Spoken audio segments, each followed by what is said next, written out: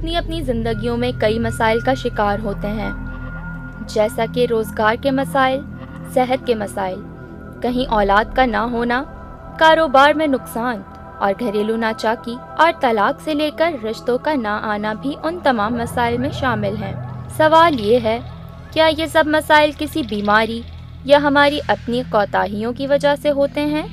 या इनके पीछे कोई और वजह भी हो सकती है? कुछ चीज़ें ऐसी भी हैं जो बज़ाहिर नज़र नहीं आती, लेकिन इन तमाम मसाइल की वजह हो सकती हैं। और वो हैं बंदिश, नज़र और जादू। आज के शो में हम जानेंगे कि बंदिश, नज़र बद और जादू क्या है, इसकी हकीकत क्या है, और सबसे बढ़ के ये कि इन तमाम चीज़ों का तोड़ क्या है। तो अगर आप ऐसी किसी भी परेशानी में घिरे हुए हैं तो आज का शो आपके लिए है बहुत ही अहम। तो देखते रहिए पाकिस्तान का नंबर वन मॉर्निंग शो आपका साहिर।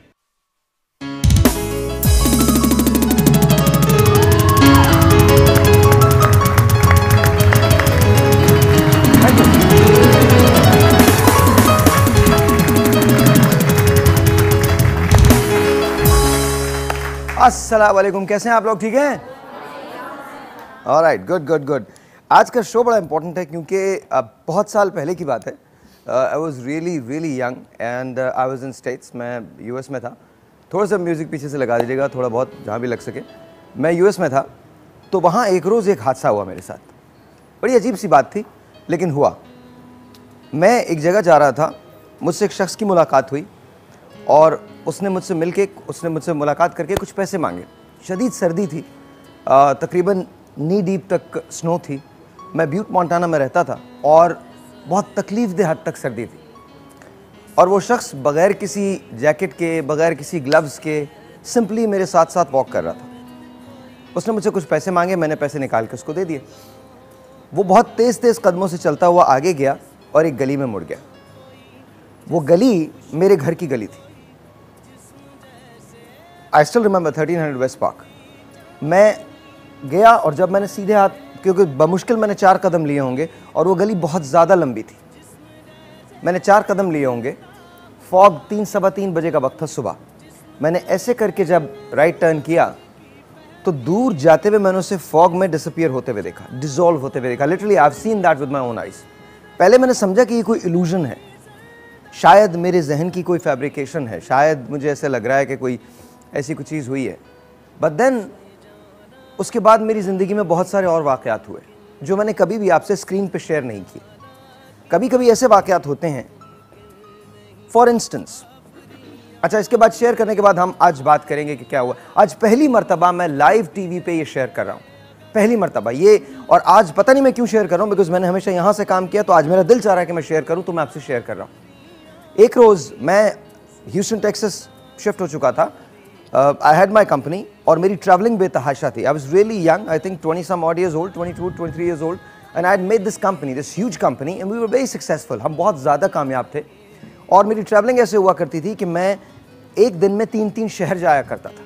इस तरह से ट्रैवलिंग होती थी. I I was always workaholic मैं हमेशा काम करता था. सुबह तीन बजे मैं काम करके जब निकला वहाँ से तो मैंने, अब दिस इज़ रमान साहब, आप सुनिएगा इस बात को. जब मैं काम करके निकला तो I had this sports car it was a Porsche Boxster S sports गाड़ी थी और मुझे बहुत पसंद थी वो। तो उसका मैंने टॉप डाउन किया एंड देन मेरी सुबह सात बजे की फ़्लाइट थी इंटर कॉन्टिनेंटल बुश एयरपोर्ट से। बुश एयरपोर्ट इंटर वहाँ से मेरी फ़्लाइट थी। मैंने टॉप डाउन किया ना आई स्पीडेड मैं बहुत तेज़ी में निकला।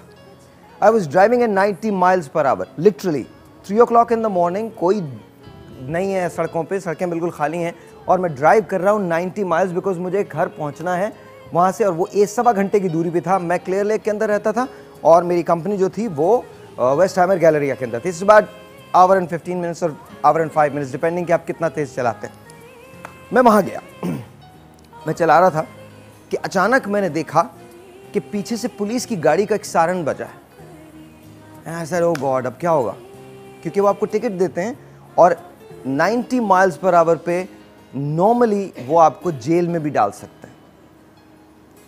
तो मैंने अपनी गाड़ी रोक ली। वहाँ पर उसूल यह है कि आगे आप गाड़ी रोकते हैं, पीछे आपकी पुलिस की गाड़ी आके रुकती है और आप बाहर नहीं निकलते। पुलिस वाला निकल के आपके पास आता है और आपसे इंश्योरेंस कार्ड माँगता है और आपसे ड्राइवर्स लाइसेंस माँगता है। तो पुलिस वाला निकल के आया, उसने मुझसे इंश्योरेंस कार्ड मांगा और ड्राइवर्स लाइसेंस मांगा। मेरी गाड़ी ऐसे खड़ी थी, यहाँ पर एक बिजली का खंबा था जिसके नीचे मैं खड़ा हो गया था साइड में। और मैंने देखने की कोशिश की, लेकिन मुझे वो नज़र नहीं आया, उसका चेहरा नज़र नहीं आया। उसने मेरा ड्राइवर्स लाइसेंस लिया इंश्योरेंस नहीं मांगी। And he looked at the driver's licence and he looked at me and he goes slow down son आहिस्ता हो जाओ, बेटा. ये कह के उसने मुझे वापस किया कार्ड अब आप से सोचते रहिएगा, ये मेरी गाड़ी खड़ी है और ये उसकी गाड़ी खड़ी है. उसने वापस किया मैंने खुदा का शुक्र अदा और वो वापस अपने उसको बैक मिरर में अपनी गाड़ी में जाते हुए देखा, वो अपनी गाड़ी में बैठा है, इस गाड़ी में बैठा है, और मैंने खुदा का शुक्र अदा किया कि उसने मुझे टिकट नहीं दिया या मुझे जेल नहीं किया, और मैंने स्टेयरिंग पे ऐसे सर को झुकाया और उठाया और मैंने रेयर व्यू में देखा तो गाड़ी नहीं थी। दैट हैपेंड टू मी बहुत सारी और चीज़ें होती हैं, और इस बात के गवाह मेरे जो असिस्टेंट हैं, राजा हैं, वो भी हैं। बट उसके बाद क्या हुआ, वो सोचने की बात थी। उसके बाद जो हुआ, बड़ी हैरतंगेज बात थी। उसके बाद ये हुआ कि मैंने गाड़ी दोबारा चलाना शुरू की। करीबन दो मील की दूरी पे जब मैं गया हूँगा तो वहाँ एक गाड़ी का एक्सीडेंट था। And I stayed there to see कि क्या हुआ है। और वहाँ कोड ब्लू आ गया। Somebody died there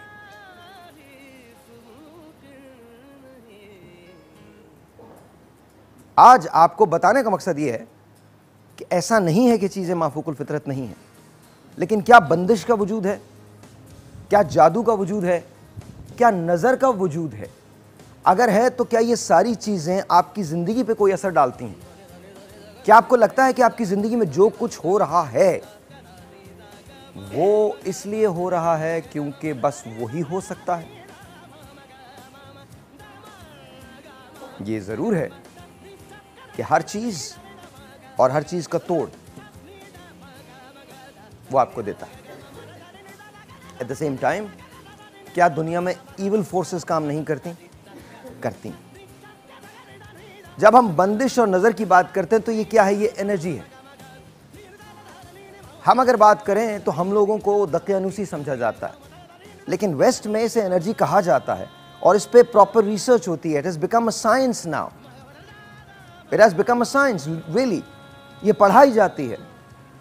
सवाल ये पैदा होता है कि आज हम इस पूरे प्रोग्राम से हासिल क्या करना चाहते हैं? आज मेरे पास मेरे जो गेस्ट हैं, उनमें जनान शामिल हैं। जनान के लिए बहुत सारी तालियाँ जी।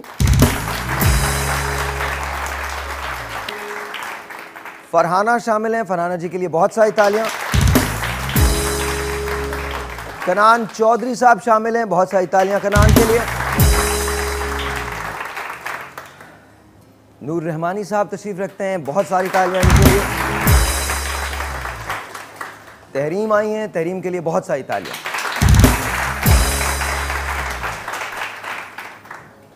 क्या औलाद पे भी बंदिश होती है? औलाद के होने ना होने पे बंदिश हो सकती है? लेट्स टॉक अबाउट इट मैं, मैंने अपने आप को दो वाक़ात बता दिए। हज़ारों हैं मेरी ज़िंदगी में और रोज़ाना डेली होते हैं। और मैं चलता रहता हूँ।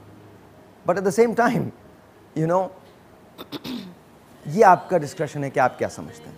मैंने डिबेट को ओपन कर दिया खोल दिया फ्लोर सबसे पहले शुरू करते हैं सर आपसे आप शुरू कीजिए और आप बताइए। आप लोग चाय वगैरह लेंगे बताएँ? लेंगे? नीली चाय ले ली चाय तुमने चाय लिया आपने ली?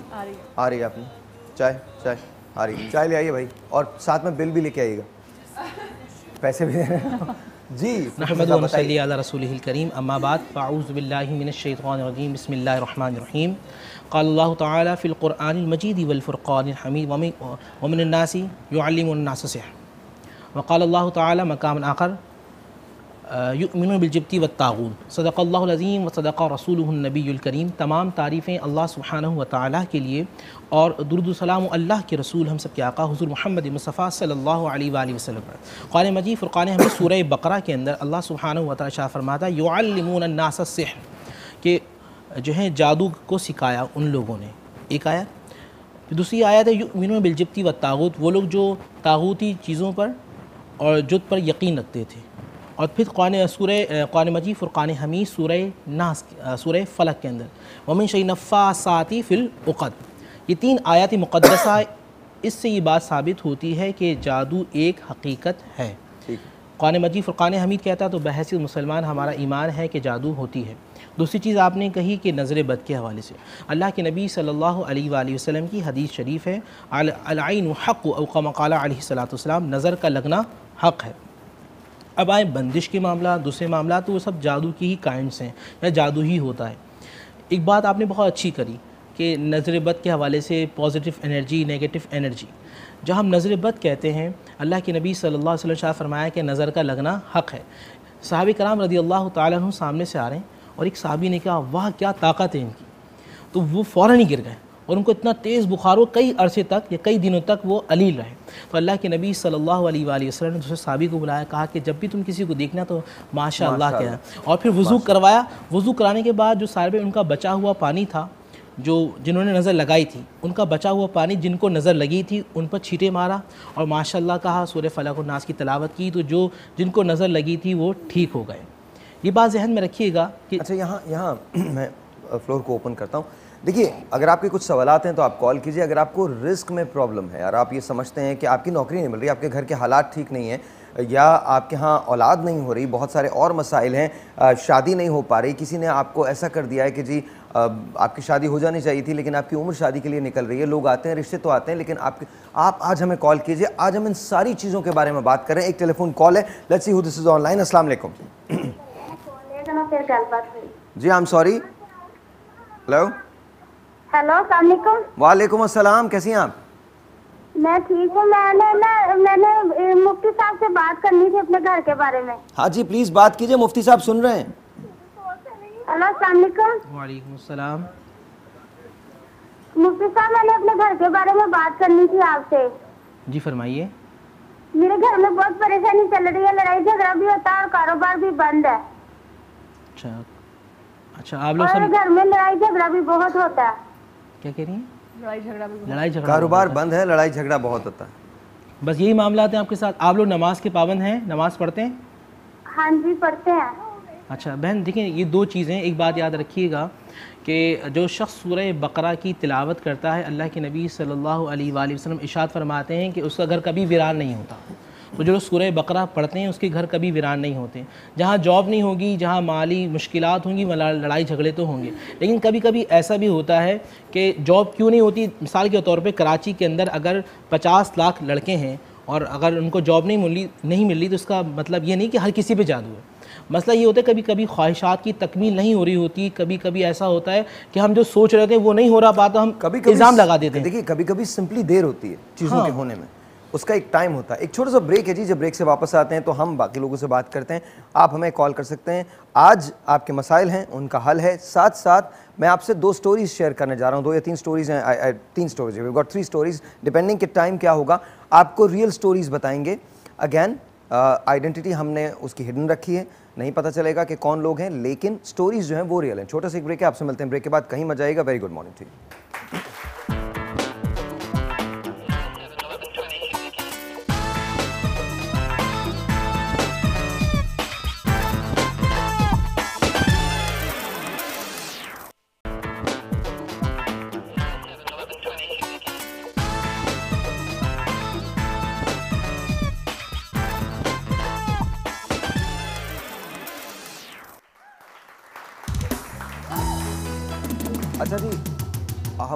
कुछ टेलीफोन कॉल्स हैं वो भी हम लेना चाहते हैं लेकिन साथ साथ हमारे पास कुछ सवाल हैं जो ऑडियंस की तरफ़ से हैं तो प्लीज़ अगर वो भी सवाल शुरू हो जाएँ। इससे पहले के सवाल जना आपके साथ कभी कोई ऐसा do you believe in all this you do you do ऐसा जादू तो अल्लाह का शुक्र है नहीं लेकिन नज़र बहुत लगती है। आपको नज़र लगती है। ठीक है। ज़्यादा लगती है। तो वो फिर तरीके हैं उतार लेते हैं फ़ौरन। अच्छा। हमेशा पढ़ के रखती हूँ चार पढ़ के रखती हूँ। हमेशा सुबह घर से निकलने से पहले हिसार करती हूँ। अच्छा थोड़ा सा थोड़ा सा ज़रा एक काम कीजिए थोड़ा सा ज़रा साइलेंस हो जाइए। क्योंकि प्रॉब्लम ये है कि अगर हम ये बात करेंगे और आप लोग भी बात करेंगे तो सुनाई नहीं देगा। इन्होंने कहा कि जी इनको भी नज़र लगती है और हिसार कर लेती हैं निकलने से पहले। आयतल कुर्सी हमेशा उसका विर जो है वो करती रहती हैं। आप बिलीव करती हैं तमाम चीज़ें जी बहुत ज़्यादा करती हूँ। बिसमिल्लाहिर्रहमानिर्रहीम। मैं ये देखती हूँ कि अगर आप लोग सब जितने हैं कुरान शरीफ पढ़ते हैं कुरान में पहली आयत है व यूनज़लमिनकुरानी मा हुआ शफ़ा रहमतमिन वला यज़ीदुलमीन खसारा। जो मोमिन है, अगर उनको अपने लिए दिफा चाहिए तो वो कुरान से दिफा लें। अगर जिसने कुरान से दिफा लिया, उसमें सूरह फातिहा है, आयतल कुर्सी है, चार कुल है। अगर वो आप पढ़ें, रूटीन में अपनी, उसमें डालें कि हमने सुबह इसका इजहार बांधना है। जैसे जिनान ने कहा ऐसे ही इजहार आप लोग भी बांधिए उसे आप सेफ़ रहते हैं बचते हैं। अल्लाह का नाम लेकर सफ़र करें सफ़र की दुआएँ पढ़ें घर से निकलने से पहले दुआ पढ़ें? इन ताला कोई भी ऐसी चीज़ नहीं है लेकिन जो चीज़ें कुरान में हैं बरहक है जादू बरहक है हा? नज़र बरहक है वो तो और last time में जिन्नात जो आया भी हैं उनकी सूरत भी नाजिल हुई है। तो वो किसी भी रूप में किसी भी शक्ल में आपके सामने आ सकते हैं। जितना इंसान पाक रहता है वो चीज़ें आपसे दूर रहती हैं लेकिन नापाकी की वजह से वो आपके ऊपर ज़्यादा अटैक करती हैं। अच्छा जी अच्छा एक ब, ब, एक टेलीफोन कॉल है वो लेते हैं उसके बाद तहरीम की तरफ़ चलते हैं। अस्सलाम जी हेलो वालेकुम वालेकुम। भाई नज़ारा सदाकत बात कर रही हूँ मीरपुर आदाब कश्मीर से। जी जी कैसी हैं आप? ठीक हैं? जी सर आपकी दुआएँ मैं बिल्कुल ठीक ठाक हूँ। आपने टॉपिक बहुत अच्छा रखा है सर मैं आपका प्रोग्राम भी बहुत शौक से देखती हूँ। तो सर मैं ये आपसे कहना चाहूँगी कि बस हमारे पे भी कुछ जादू टोने इस तरह के हुए हैं कि हमने अपना घर बनाया था, बड़ी मेहनत से। कुछ लोगों ने हेल्प वगैरह की थी, लेकिन जिस जगह हमने घर लिया, वो जगह अभी कुछ इस तरह की थी कि वहाँ एक इस तरह की औरत रहती थी जो पाला जादू करती थी। तो उसने ना हम लोगों को तरह तरह से टॉर्चर किया, तंग किया, यहाँ तक कि मेरे हस्बैंड को जेल तक पहुँचा दिया, गलत इल्ज़ाम लगाकर। उसके बाद हम लोग ने बस लोगों ने मशवरा दिया, घर बेच बेच दें घर बेचा है हम लोगों ने बयाना ले लिया है बकाया रकम हम लोगों को थोड़ी थोड़ी किस्तों में मिली है उसमें से भी हमारा डेढ़ लाख रुपया तक वो बंदे इसी तरह से खा गया। आज ना पैसा है ना घर है ना कुछ है। अच्छा जी अच्छा। अच्छा क्या नाम नाम क्या है आपका? जारा नाम है? जी मेरा नाम जारा सदाकत है मैं मीरपुर आज़ाद कश्मीर से बात कर रही हूँ। अच्छा जी, हम एक- हस्बैंड दर्जियों का काम यहाँ पे करते हैं। ओके जी ओके। हम एक काम करेंगे हम आपका नंबर ले लेते हैं और आपका नंबर लेके हम नूर रहमान साहब को देंगे और कनान को देंगे देन लेट्स सी कि जी वो लोग क्या बात करते हैं। Tahreem do you believe in this आपको बिलीव है? I strongly believe in this Shahid की नज़र लगती है और कभी कभी बहुत ज़्यादा भी लगती है कि आपने सोचा नहीं होता और कुछ लोग भी ऐसे होते हैं। मैं मुफ्ती साहब से भी चाहूँगी कि वो भी इस बात पे थोड़ा सा अपना इजहार करें राय का। कि कुछ लोगों की नज़र बहुत ज़्यादा तेज़ होती है। साहिर नॉर्मली नज़र लगती है लेकिन कुछ लोगों की नज़र बहुत तेज़ होती है कि अगर वो किसी चीज़ को देख लें या वो किसी चीज़ की ख्वाहिश करें और वो उनके पास ना हो तो वो चीज़ या तो सामने वाले के हाथ से भी जाती है या फिर वो बिल्कुल बर्बाद हो जाती है। इस तरह की भी लोगों की नज़र तो अजराह मज़ाक में एक बात कह रहा हूँ अगर मैं बहुत ज़्यादा कटरीना को देखूँ और ये सोचता रहूँ कि एक रोज़ वो मुझे लेकिन आपकी नज़र इतनी बुरी है नहीं ना अरे यार क्या यार ये तो गलत बात आप चाहते हैं कि वो है। हो? ये नूर रहमान साहब ये बताइएगा ज़रूर मुझे एक सेकंड में सवाल ले लूँ। देखिए इंसान मज़ाक तो यू नो वो तो एक हिस्स होती है। अब मैं क्या करूँ कैसे दबाऊँ? जी अस्सलाम वालेकुम बताइए बताइए सवाल बताइए आपका मैम। आप कोई भी सवाल कर ले जी वालेकुम। वालेकुम अस्सलाम। मेरी बेटी बहुत बीमार रहती है मेरे दामाद दो साल से काम से बैठे हुए कोई काम नहीं है उनका। तो आपने अपने दामाद को कुछ कहा कोई ये कहा कि भाई तुम काम से क्यों बैठे नहीं हो? कार मिलता ही नहीं है कार वो प्लम्बर है ना। अच्छा। पहले बहुत काम आते थे अब और अब दो साल से बिल्कुल नहीं है काम और बीमार भी बहुत रहती है जो दवाइयाँ खाती है कोई कहता है कि गुर्दों पे वरम है कोई कहता तो आपको कैसे लगा कैसे लगा आपको कि उन पे जादू हो सकता है या नज़र हो सकती है या मेरे को लगता है वो नहीं मानती मैं लेकिन मुझे लगता है ऐसा क्योंकि जो दवाइयाँ खाती है उससे थोड़े दिन आराम आता है उसके बाद फिर वैसी हो जाती है उसी दवाई का असर नहीं होता फिर उस पर ओके थोड़ा सा मैं मैं कहूँगा उसके बाद मैं आप लोगों को दे दूँगा। ये आपका जहन जो होता है ना ये एक बहुत बड़ी पैदावार होता है हर चीज़ की। ये जो आप सुन लीजिए अर्ज़ मेरी बाकी आपकी मर्ज़ी है आप जो बिलीव करें। ये आपका जहन जो होता है, ये आपको बताता है एक्सेप्ट करवाता है कि ये चीज़ सही है, ये चीज़ सही नहीं है, इसको ऐसा करो कभी कभी डिप्रेशन में चला जाता है। तो ऐसा होता है, हो सकता है, उनका जहन उनको ये बताता हो कि कुछ दिन के लिए दवाएँ तो काम करती हैं, लेकिन उसके बाद वो उनका जहन, और जहन बहुत पावरफुल चीज़ है, उनका जहन दवाओं को बताना शुरू कर देता है कि तुमने काम नहीं करना। बिकॉज़ वो फील करना चाहती हैं कि लोग उन पर तवज्जा दें। अब आई एम नॉट सेइंग कि ये ऐसा केस है, मैं सिर्फ़ एक बात बता रहा हूँ आपको। जी मैम आपका सवाल। बच्चे उनसे उठा भी नहीं जाता है कितने बच्चे? बीमार रहती है छः बीमार रहती है सूजी पड़ी है और उठा भी नहीं जाता उनसे। दर्द रहता है। नहीं ठीक है ठीक है। जी बताइए। अस्सलाम वालेकुम मेरा नाम आबदा है। मेरा बड़ा बेटा है उसने पसंद से शादी करी थी। अब उसको अपनी बीवी से इजाज़त लेके मेरे घर आना पड़ता है और बहुत डरता डरता आता है वो। मेरे इसमें जिन्नात का क्या कसूर या नहीं मैंने दो तीन जगह से कुछ भी कहती रहूँ उसको वो खामोश नीचे मुँह करके बैठा रहता है बिल्कुल नहीं बोलता। हर वक्त ससुराल में होता है वो। और जब मैं उनके घर भी जाऊँ तो उसकी वाइफ भी ससुराल में होती है ससुराल में ही रह रहा है वो। और मेरे पास बहुत कम आता है। मैंने दो तीन जगह से पता करवाया लेकिन वो कह रहे हैं इसका मुँह बंद कर दिया ये तुम्हारे सामने कुछ भी नहीं बोलेगा। खिला दिया है कह रहे हैं इसे कुछ। मुँह बंद कर दिया? जी। खुद भी बहुत परेशान रहता है कभी कभी आके रोने लग जाएगा अम्मी मैं बहुत परेशान हूँ इन लोगों से बहुत। फिर थोड़ी देर में जो है वो जब बात करूँगी मैं उससे कि ठीक है तू कुछ दिन के लिए मेरे पास आ जा। तो फिर खामोश हो जाता है फिर आता ही नहीं। बेटे के लिए? जी। आप कहीं ऐसा तो नहीं होता कि वो आपसे मिलने नहीं आता तो आप उसके बारे में बुरा सोचती हो या बुरा कहती हो? सकता है इसलिए परेशान रहता हो। मेरा एक बेटा पहले ही फौत हो चुका है उसको किसी ने मार दिया था वो इससे छोटा था एक साल। इसलिए ये जो कहते हैं मैं वही करती हूँ। आप दुआ किया करें माँ की दुआ में बहुत असर होता है। मैं नमाज़ पढ़ती हूँ पाँच टाइम की नमाज़ पढ़ती हूँ नमाज़ नहीं छोड़ती। जी। देखिए एक बात याद रखिए कि आपकी दो तीन बातें एक बहन ने पहली बात की कि क्या नज़र किसी की बहुत शदीद होती है या नहीं? तो मैंने एक साहबी रसूल का एक वाक़ कोट किया। फिर आपकी जो बात की एनर्जी की इस दुनिया के अंदर दो एनर्जीज़ हैं ठीक है ना? एक पॉजिटिव एनर्जी एक नेगेटिव एनर्जी। अगर इंसान के अंदर नेगेटिव एनर्जी बहुत ज़्यादा हो वो बहुत ज़्यादा बदगुमानी रखता हो वो बहुत ज़्यादा हसद करता हो तो उसके अंदर नेगेटिव एनर्जी होगी।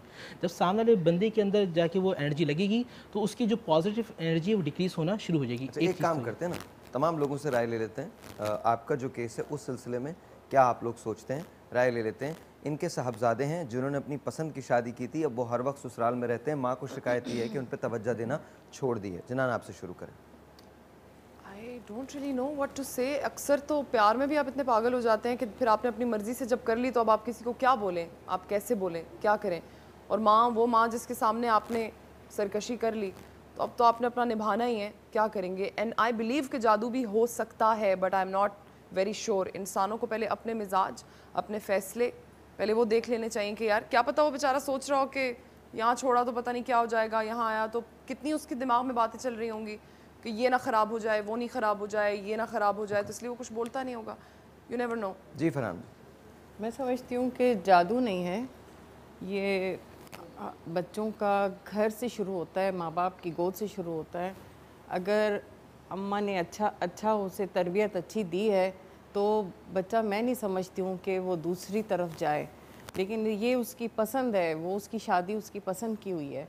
लेकिन ये दोनों पहलुओं को नज़रअंदाज नहीं कर रहा अपनी अम्मी से भी रख रहा है ससुराल से भी रख रहा है। लेकिन खामोशी जो है वो दूसरी चीज़ है। अगर वो खामोश हो गया है तो इसके पीछे कोई और रीज़न है। ज़रूरी नहीं है कि आपके बेटे के ऊपर जादू किया है। जादू ज़्यादा हमेशा जादू ज़्यादा वो शख्स होता है जिसकी बॉडी में से स्मेल आती है। अगर आपके बेटे की बॉडी में से स्मेल आ रही है वो बीमार रहने लग गया है एक कमरे में उसने अपने आप को कैद कर दिया है, चीज़ों से डर रहा है, खौफ है उसे तो उसे जादू हो सकता है। हर चीज़ जादू नहीं होती। नहीं, लेकिन ये भी बात मैं इससे इतफाक तो नहीं करता, बहरहाल है, और इस बात को ऐसे लीजिएगा भी मत। जादू आपको पता भी नहीं चलेगा कौन लोग जादू करेंगे और किस तरह से जादू करके चले जाएँगे यू वोंट इवन नो और कोई स्मेल वगैरह नहीं आएगी, कुछ सर्टन केसेस हो सकते हैं बट नॉट आपको ये भी नहीं पता कि किसी की एग्जिस्टेंस क्या है, कौन क्या करता है, किस तरह से करता है you don't know so so, हम किसी एक चीज़ को किसी एक बाइंडर में ना डाल दें कि जी ये इसके रूल्स हैं ये इसकी हदूद हैं ये इसकी क्यूद हैं ऐसा नहीं है। जी सर इनके केस में क्या कहते हैं? साहिर भाई इसमें दो चीज़ें डिपेंड करेंगी। एक तो इनके बेटे की डेट ऑफ़ बर्थ और दूसरा ये है कि जिस डेट को शादी हुई है ना वो डेट बहुत ज़्यादा मैटर करेगी। यहाँ रुक जाइए। आप डेट ऑफ़ बर्थ लिखिए बेटे की और अभी कनान को दे दीजिए हम ब्रेक के अंदर इनसे बात करते हैं उसके बाद आपसे हम जी, नूर रहमानी साहब क्या कहेंगे आप? देखिए अगर जो इस तरह की जो मामला हैं पूरी ओवर एक बात कर रहा हूँ। पहले तो मैं बेटियों को नसीहत करना चाहूँगा कि अगर आपने अपनी माँ का दिल दुखाया ना आपसे अल्लाह राज़ी है ना आपसे रसूल राज़ी है। अच्छा ऐसे जो बच्चे जो माएँ परेशान होती हैं कि बेटे उनके घर आ नहीं रहे उनको चाहिए कि रोज़ाना सूर्य अखलास इक्कीस मरतबा पढ़कर तसव्वुर में दम कर दें और दुआ करें कि अल्लाह इसके दिल में जो बदगुमानी है, जो भी मामला हैं, वो ख़त्म हो जाए। एक चीज़। दूसरी ये कि अल्लाहुम्मा या लतीफ़ू या वदूदू 149 टाइम्स। एक सौ उनचास मरतबा, अल्लाहुम्मा या लतीफ़ू या वदूदू, जो अल्लाह के दो नाम हैं, इसको पढ़िए, दम करें इन ऐसे सारे मामला ख़त्म हो जाएँगे। और किसी के पास जाने की ज़रूरत नहीं है कि आप कभी किसी गली, किसी मौलवी के पास चले गए, किसी बाबा के पास चले गए, किसी पीर साहब के पास चले गए और उन्होंने कहा, फ़लाँ चीज़ें फ़लाँ चीज़ें आप अल्लाह के पास जाइए, नमाज़ पढ़िए, कुरान की तलावत कीजिए, सूरह फलक नास की तलावत, किसी भी अल्लाह की कुरान की किसी भी आयत को पढ़ें और दुआ मांगे इंशाल्लाह आपका मसला हल हो जाएगा।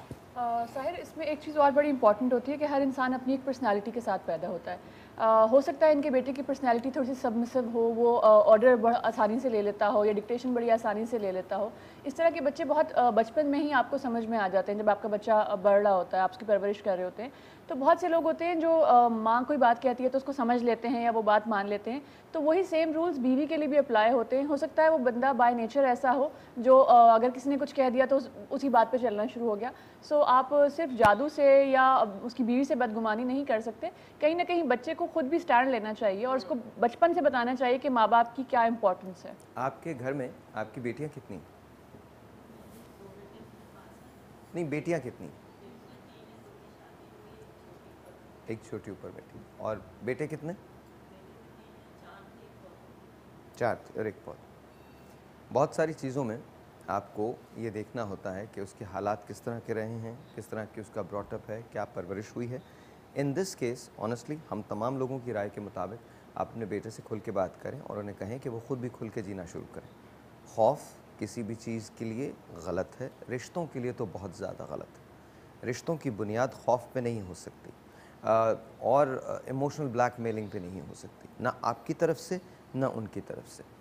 एक टेलीफोन कॉल है let's see who this is online आप बाद में बात कीजिएगा, आप date of birth I know आप बहुत परेशान हैं, आप डेट ऑफ़ बर्थ ज़रूर दीजिएगा कनान को, हम अभी आपकी बात करते हैं, ठीक है? आई नो आई बहुत परेशान है आई नो आई अंडरस्टैंड माँ का दिल है ज़ाहिर है और माँ का दिल तो तड़पेगा अपने बेटे की याद में, लेकिन ये ज़रूर है, मैं तमाम लोगों से कहता हूँ, आप शादी करें, आप रिश्ते निभाएँ खौफ की बुनियाद नहीं होनी चाहिए। और अगर कोई इमोशनली आपको ब्लैकमेल करता है, दुनिया में कोई भी आपको इमोशनली ब्लैकमेल करता है, कोई लड़की अगर आपसे ये कहती है कि तुम चले जाओगे तो मैं खुदकुशी करूँगी तो seriously there is a problem there कोई लड़का अगर आपको ये कहता है, तुम चले जाओगे तो मैं, तुम चली जाओगी तो मैं अपने आप को मार लूँगा देर इज़ अ प्रॉब्लम देर मोहब्बत बंदिश नहीं है, मोहब्बत बाउंड्री नहीं है, मोहब्बत खौफ नहीं है। मोहब्बत के माने ये है कि कोई आपसे प्यार करता है और एक दिन उसे ये पता चले कि वाकई वो आपसे उतना प्यार नहीं करता कि वो आपके साथ रहना चाहता और वो आपसे ये कहे कि मुझे जाना है। You smile you shake hands and you say that's what love is love is not about अच्छा जी, छोटा सा एक ब्रेक आपसे मिलते हैं। ब्रेक के बाद एक कहानी के साथ जादू का किस्सा है कि जादू ने किस तरह से घर को मुतासर किया है। आपसे मिलते हैं इस ब्रेक के बाद।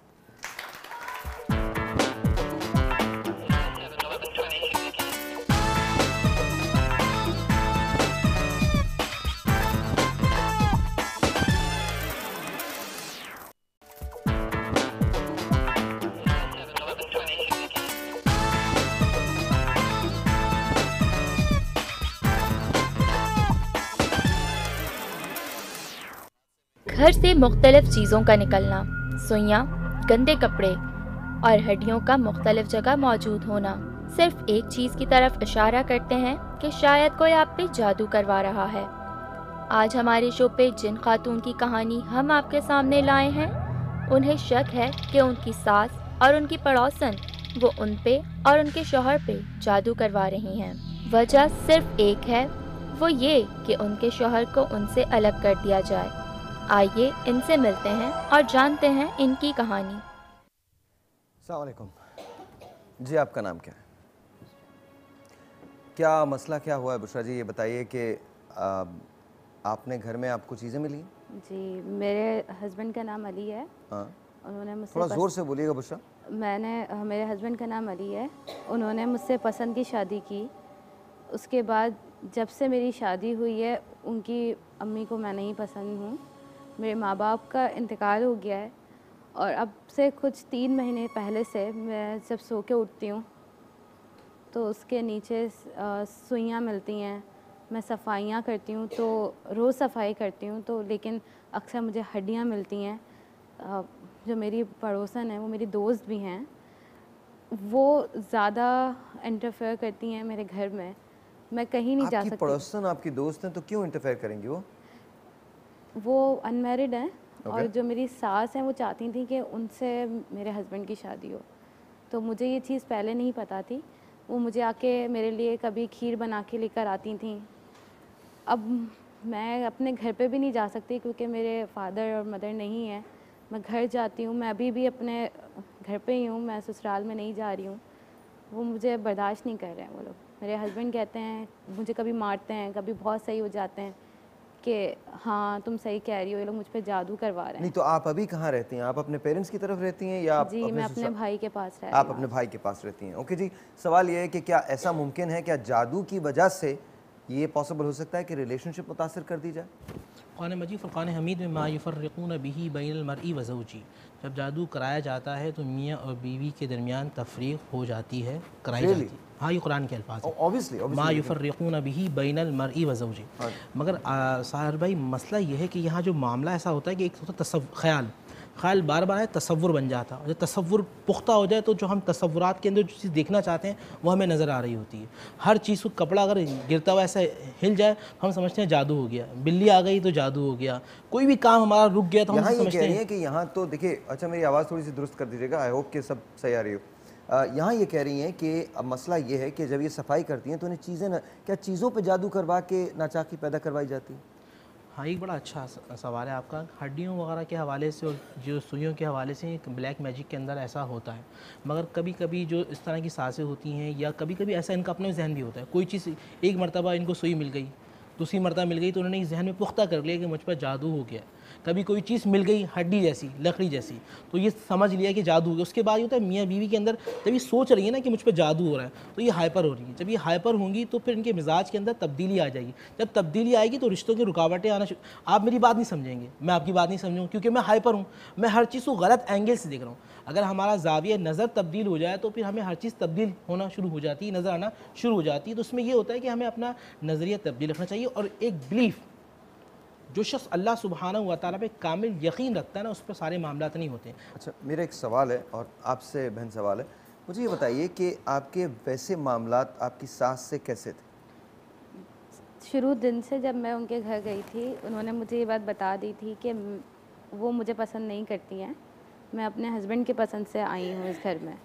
तो जो भी करेंगे वो ही करेंगे। मैं उनके साथ हमेशा सही रही कि वो मुझे अपनी बेटी बना लें लेकिन उन्होंने कभी भी ये नहीं समझा। कीलें घर से निकलती हैं। पहले मैं इस चीज़ को नहीं मानती थी कि वो ज़ाहिर है उनका बेटा भी तो नाखुश होगा अगर मैं खुश नहीं होंगी। तो मैं ये चाहती समझती थी कि नहीं ये मेरा वहम है। लेकिन अब ऐसे उन्होंने हालात पैदा कर दिए हैं कि मैं उस घर में भी नहीं जा पा रही हूँ और ना मैं उस घर में रह पा रही हूँ। आपके ऑब्वियसली बच्चे तो नहीं? नहीं। नहीं बच्चे नहीं। और आपकी सास ये चाहती हैं कि आपकी शादी पड़ोसन से हो जाए। हाँ, आपकी जो की शादी। आपके आपके हस्बैंड की शादी जो है वो अजीब सी बात है। मुझे I I don't get this कि क्या ऐसा पॉसिबल है कि आप एक शादी को तोड़ने के लिए जादू करवा दें? पता नहीं इतना बड़ा इशू क्यों है इस माशरे में? हमारे माशरे में स्पेशली बहुत बड़ा इशू है कि जी शादी मेरी पसंद से होगी अगर बेटे की। और अगर माँ ये कह रही है तो आप ये मान लें। और अगर बेटा ये कह रहा है तो माँ ये मान ले। मतलब मसला तब होता है जब दोनों इंसान अपनी बात पे अड़े रहते हैं कि इंसान ने शादी की आप उसकी बात मान लें हालात ठीक हो जाएँगे। या माँ जहाँ कह रही है वहाँ शादी कर लें तो हालात ठीक हो जाएँगे। सो so, मसला ये है कि हम हमारे यहाँ दोनों फरीक में से कोई भी अपनी बात से हटने को तैयार नहीं होता तो ये वाले हालात पैदा होते हैं। लेकिन- और बहुत दफ़ा ज़ाहिर ऐसा भी होता है कि हो सकता है किसी ने जादू ना करा मैं इनकी बात नहीं करी लेकिन और बहुत सारे लोग जिस तरह की बातें कर रहे होते हैं कि जी कहीं से कील मिल गया कहीं से लीमू मिल गया कहीं से मिर्च मिल गई हो सकता है किसी ने ना कराई हो लेकिन आपके दिमाग में ये तस्वुर डालने के लिए सिर्फ़ ऐसे ही रख दी हो। जादू करा के ना रखी हो लेकिन ऐसे ही रख दी हो ताकि आपके दिमाग में ये बात आना शुरू हो जाए। लेकिन इसमें मेरी क्या गलती है? मैं कहाँ जाऊँ? मेरे ना मायके वाले मुझे रखते हैं। मेरी भाभी बोलती हैं कि बस अब तुम अपने घर चली जाओ। मेरे भाई के जैसे मैं वहाँ रुकी हुई हूँ। मैं ससुराल नहीं जा सकती हूँ। अगर उसने मुझसे पसंद की शादी की है तो उसमें मेरी तो कोई गलती नहीं है। मैं कहाँ जाऊँ? वो लोग मुझ पर क्यों जादू करवा रहे हैं? अच्छा ट्रू साहिर भाई इसमें एक चीज़ है। इनको बहन को चाहिए सबर का मामला इख्तियार करें एक चीज़। जितना सबर करेंगी कि देखिए, इनका साथ इनका शौहर तो अच्छा बिहेव कर रहे हैं ना? अगर नहीं मार रहे हैं उनको। उनको मार रहे हैं। मार मैंने कहा कभी ठीक हो जाते कभी हैं। लेकिन कभी देखिए जब आप आप आप औरत पे हाथ कैसे उठा सकते हैं?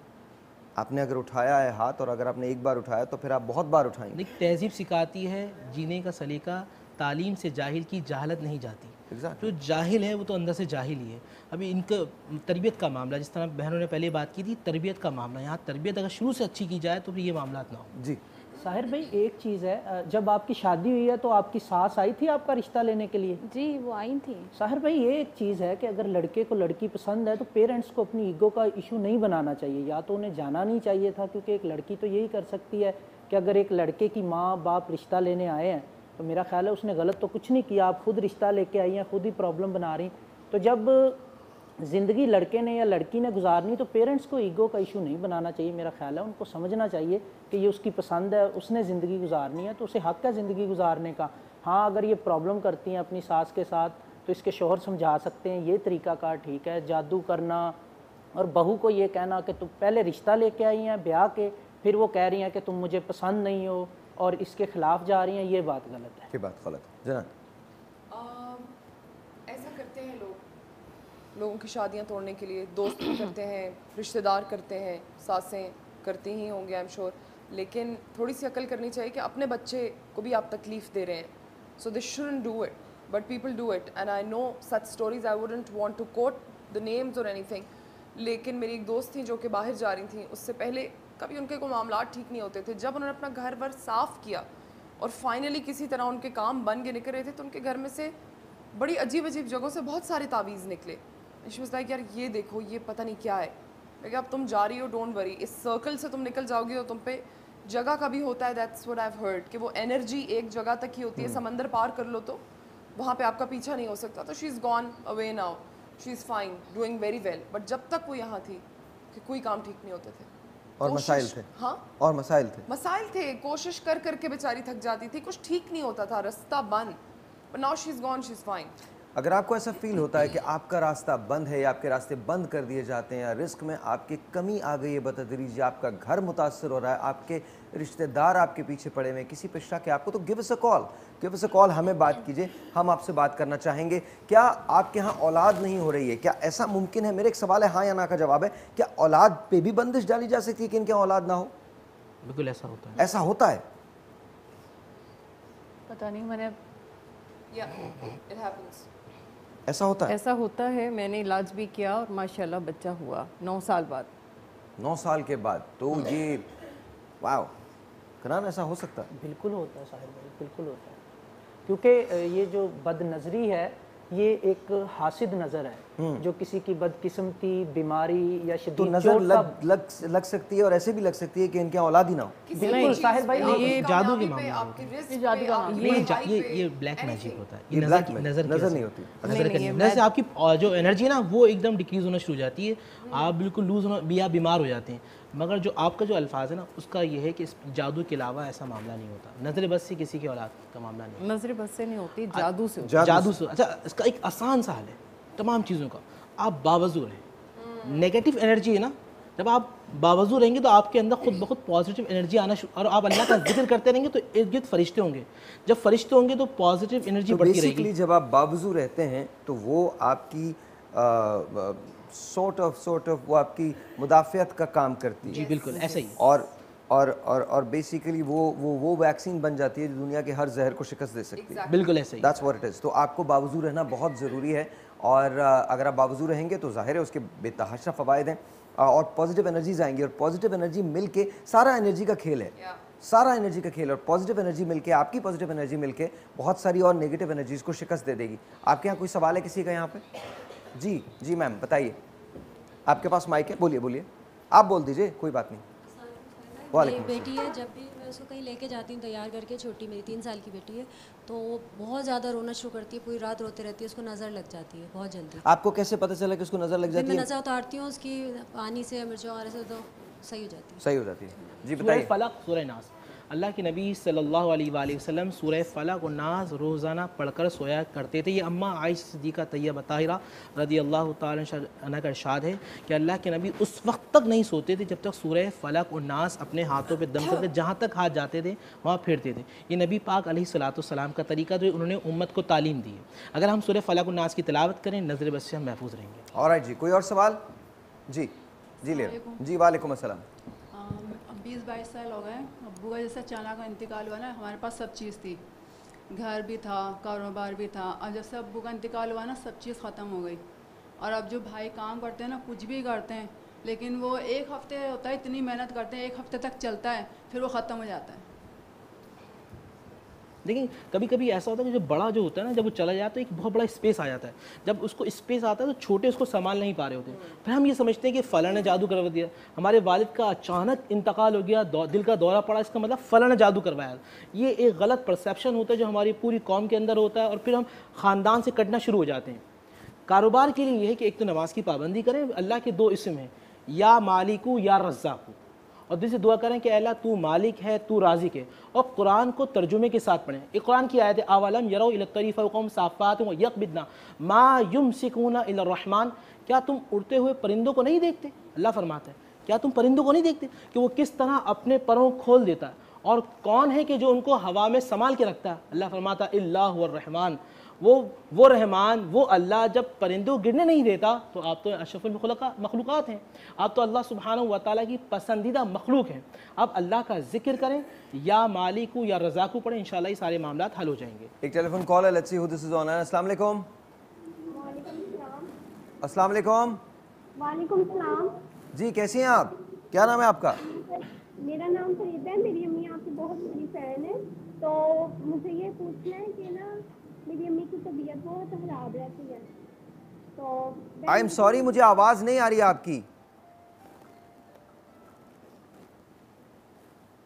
हेलो अच्छा आवाज़ जो है वो नहीं आ रही है। अच्छा बुशरा मुझे आप एक बात बताएँ आपके शोहर ने अब आपसे क्या कहा है? कोई पेशरफ हुई है आपके रिश्ते में जब आपको छोड़ के चले गए आपसे आते नहीं है मिलते नहीं अब वो एक हफ़्ते पहले मेरे पास आए थे। वो मुझे यही कह रहे थे कि तुम चलो मेरे साथ। मैंने कहा, मैं चलूँगी, लेकिन आप मुझे मारेंगे, फिर मैं अपने घर आ जाऊँगी। कब तक ये होगा? उन्होंने बोला कि मैं अब, ठीक है, हम अलग हो जाते मैंने कहा, नहीं, अलग होना इसका हल नहीं है। अलग हो के भी जादू हो सकता है। आप अपनी अम्मी से रजामंदी ले लें कि वो हमें अगर सही से ले चल सकती हैं, वो मुझे पसंद करती हैं तो मैं चल देती हूँ। वरना मैं अलग जैसे अभी रह रही हूँ, कम से कम पिट तो नहीं रही हूँ, मुझे मार तो नहीं रहा कोई, मैं सुकून से तो हूँ अपने घर पे। वो सही हो जाते हैं फिर वो अचानक से उन्हें पता नहीं क्या होता है। लेकिन आपकी भाभी अगर आपको नहीं रखना चाहती वहाँ तो और प्रॉब्लम्स आपके लिए आगे चल के बहुत हो जाएँगी। बहुत है अभी भी हैं। सुबह मैं उठती हूँ तो मुझे ताना मिलता है सोती हूँ रात में तो मुझे ताना मिलता है कि कब घर जाओगी तुम अपने। मैं फ़ोन करती हूँ कि लेने आ जाए मुझे वो कहते हैं हाँ आऊँगा अम्मी के साथ आऊँगा। फिर वो कुछ नहीं होता। नहीं तो मुझे समझ में नहीं आ रहा अब दो बातें कर रही हूँ। वो लेने जब आपको आए हैं तो फिर उसके बाद आपने क्यों नहीं उनके साथ गई? क्योंकि उनकी अम्मी नहीं आई ना लेना। तो आप ये चाहती हैं कि वो अपनी अम्मी के साथ आपको लेने ताकि कल को जब मैं घर जाऊँ तो फिर वो मुझे ये ना बोले कि तुम फिर अपनी मर्ज़ी से देखिए ये तो बात मैं आपकी नहीं मानता। रीज़न इज़ क्योंकि वो शादी के लिए भी आपके पास ही आई थी उन्होंने शादी आके करवाई थी। तो आई डोंट थिंक अगर आपके हस्बैंड आपको लेने आए आप ज़रूर जाएँ। थोड़ी सी मुश्किल ज़रूर होंगी लेकिन उसके बाद चीज़ें बेहतर हो जाएँगी। एक टेलीफोन कॉल है let's see this is online hello जी अलैक्म हेलो हेलो अस्सलाम वालेकुम अस्सलाम आपका नाम? साहिल भाई? जी जी मैं बोल रहा हूँ। जी मैं लैला बात कर रही हूँ। क्या है साहिल भाई? जी लैला अल्लाह का शुक्र बिल्कुल ठीक ठाक। कैसे साहिल भाई? बहुत मुश्किल से कॉल लगी है बहुत मुश्किल से। जी जी प्लीज़ बात कीजिए। ये आपने टॉपिक रखा है तो जादू टोने के हवाले से ये तो होता है हर घर में होता है। ठीक है मेरे साथ यही प्रॉब्लम है। क्या प्रॉब्लम है? यही मेरे हस्बैंड बाहर होते थे तो घर में जो मेरी नंदे थी, उनको लगता था कि बहुत पैसे कमाते हैं, इस तरह ये दो सालों के वो घर पे, जिसके पास जाओ कहते से, असरात थे पता नहीं क्या क्या कहते और ये कहते भी है, मैं बाहर जा रहा हूँ, जा रहा हूँ, लेकिन हिम्मत नहीं पड़ती कि ये अपने काम से ये पासपोर्ट वगैरह लेके चले जाएँगे और इधर भी कोई काम नहीं है उसका नहीं तो अब इस वक्त क्या सिचुएशन है? अभी क्या सिचुएशन है? सिचुएशन वही है। मेरे साथ भी थोड़े वो सही नहीं है।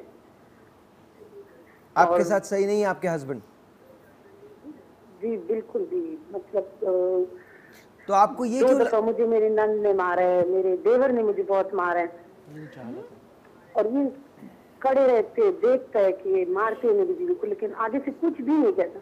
आपके हस्बैंड खड़े देखते रहते हैं और आप पिटती रहती हैं? हाँ मैं पिटती रहती हूँ। एक दफ़ा गली में भी दो महीने पहले गली में रस्सी डाल की जितने सख्त मारा है उसने देखा मुझे। लेकिन कुछ भी नहीं कहा तो अच्छा ये बताइए आपके यहाँ बच्चे आपके यहाँ बच्चे हैं? जी बिल्कुल मेरे दो दो बेटे हैं। रीजन क्या है इनका? मारने का अच्छा मारने का रीजन क्या है आपके? वो आपको क्यों मारते मारने का रीजन यही है कि वो लोग कुछ कहे तुम कुछ ना कहो। बस ऐसा पे छोड़ दो। देखती रहो बस कुछ भी ना कहो। तो आप क्या कहती हैं आगे से ऐसा? मैं जो तुम कुछ भी नहीं कहूँगी लेकिन आगे से तुम थोड़ा सा जवाब तो दो कि मेरी बीवी किस तरह है गलत नहीं है ये वो है, तो मैं कुछ नहीं कहूँगी। जब तुम भी आगे से कुछ नहीं कहोगे तो मैं भी कुछ नहीं कहूँगी। तो ये तो मेरी ज़िंदगी खराब हो गई है ना।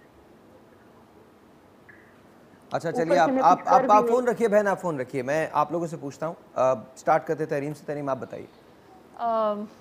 एक तो प्रायोरिटाइज़ कर लें अपनी ज़िंदगी में कि क्या चीज़ें ज़रूरी हैं। ससुराल वालों के साथ रहना ज़रूरी है शोहर के साथ रहना ज़रूरी है। अ, किस तरीके से ज़िंदगी गुजारना ज़रूरी है? अगर आप पे कोई हाथ उठा रहा है और आपके अंदर ये बर्दाश्त है कि आप एक दफ़ा मार खा लेंगे तो इसका मतलब है कि फिर आप सौ दफ़ा भी मार खा सकते हैं। जब एक दफ़ा मारने वाला बार बार मार सकता है तो एक दफ़ा मार खाने वाला बार बार मार खा सकता है। ये मारने वाले को भी इम्प्रेशन मिलता है। जो इंसान हाथ उठाता है, उसे पता चल जाता है कि अच्छा अगर आज नहीं बोला तो फिर दोबारा भी किसी ने नहीं बोलना। तो ये ये बहुत वेरी फ़र्स्ट स्टेप पे आपने इसका रिप्लाई करना होता है कि नहीं, मुझ पर हाथ कोई नहीं उठाएगा। और अगर शोहर आपके लिए कुछ नहीं बोल रहा तो मेरे ख्याल से आपका माशरा और आपका मज़हब दोनों आपको इस बात की इजाज़त देते हैं कि अगर आप किसी के साथ नाखुश हैं या नहीं रहना चाहते तो उसके लिए भी एक बड़ा इज़्ज़तदार तरीका है कि आप उससे अलग हो जाएँ। अपने ऊपर जुल्म करने का कोई नहीं कहता। जनान आज से कि कल भी मैं इसी बारे में कुछ अपने घर पे बैठी बात करी थी कि जो पेरेंट्स हैं उनको अपनी बेटियों को इतना स्ट्रांग बनाना चाहिए कि उनको पता हो कि यार हम इतने को डिपेंडेंट नहीं हैं आदमी पे या किसी भी ख़ानदान पे। आप उनको पढ़ाएँ आप उनको इतनी अकल दें कि वो अपने फ़ैसले भी खुद कर सकें और मार नहीं खाएँ यार किसी से। और अपने बच्चों, वो उनके बच्चे आगे क्या, उनके जो बेटे हैं, वो क्या देख रहे हैं घर पे? कि बाप मेरी माँ को मार रहा है, कल को वो अपनी बीवियों को मारेंगे। नस्ल कहाँ जा रही है आपकी?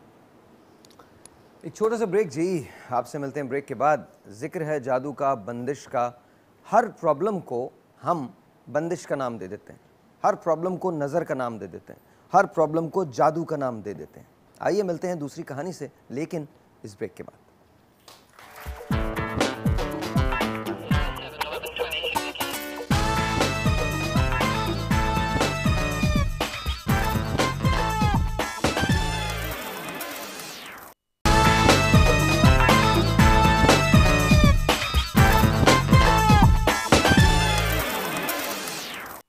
बंदिश की हकीकत क्या है? ये किस तरह होती है? और इससे क्या क्या मसाइल होते हैं? आज की हमारी ये स्टोरी एक ऐसी ही खातून के बारे में है, जिनके मसाइल किसी बंदिश के बायस हैं। शोहर की नौकरी से लेकर औलाद का ना होना। ये ऐसे मसाइल हैं, जिनमें ये खातून घिरी हुई हैं। इनके ख्याल में इन पे बंदिश है। आइए इनकी कहानी इन्हीं की ज़ुबानी सुनते हैं और हमारे एक्सपर्ट से जानते हैं कि दर हकीकत इनका मसला क्या है और इसका तोड़ क्या हो सकता है। अच्छा जी थैंक यू इससे पहले कि हम बंदिश की तरफ़ जाएँ और वो बात करें, मेरे पास एक आपने मुझे पिछली बार भी बनाते हुए देखा था और आज मैं एक मरतबा फिर दाल बनाने की कोशिश कर रहा हूँ आप सबके लिए।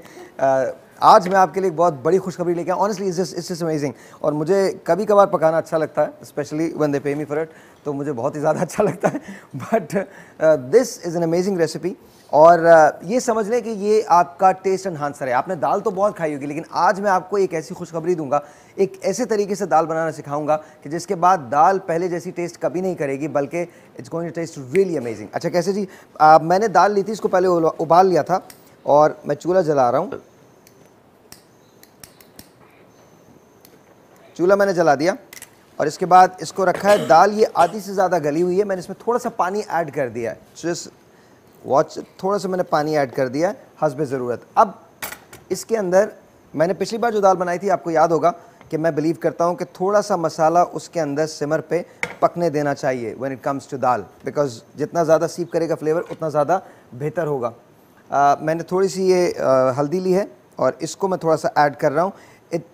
ये टेस्टलेस ज़रूर होती है, लेकिन ये खास किस्म का फ्लेवर इन्हांसर है जो आपको, और इसके बाद मैं आपको बताऊँगा एक्चुअली इसके अंदर हम डालने क्या वाले हैं। हसब जायका, हमने थोड़ी सी मिर्चें दाल के अंदर डाली हैं।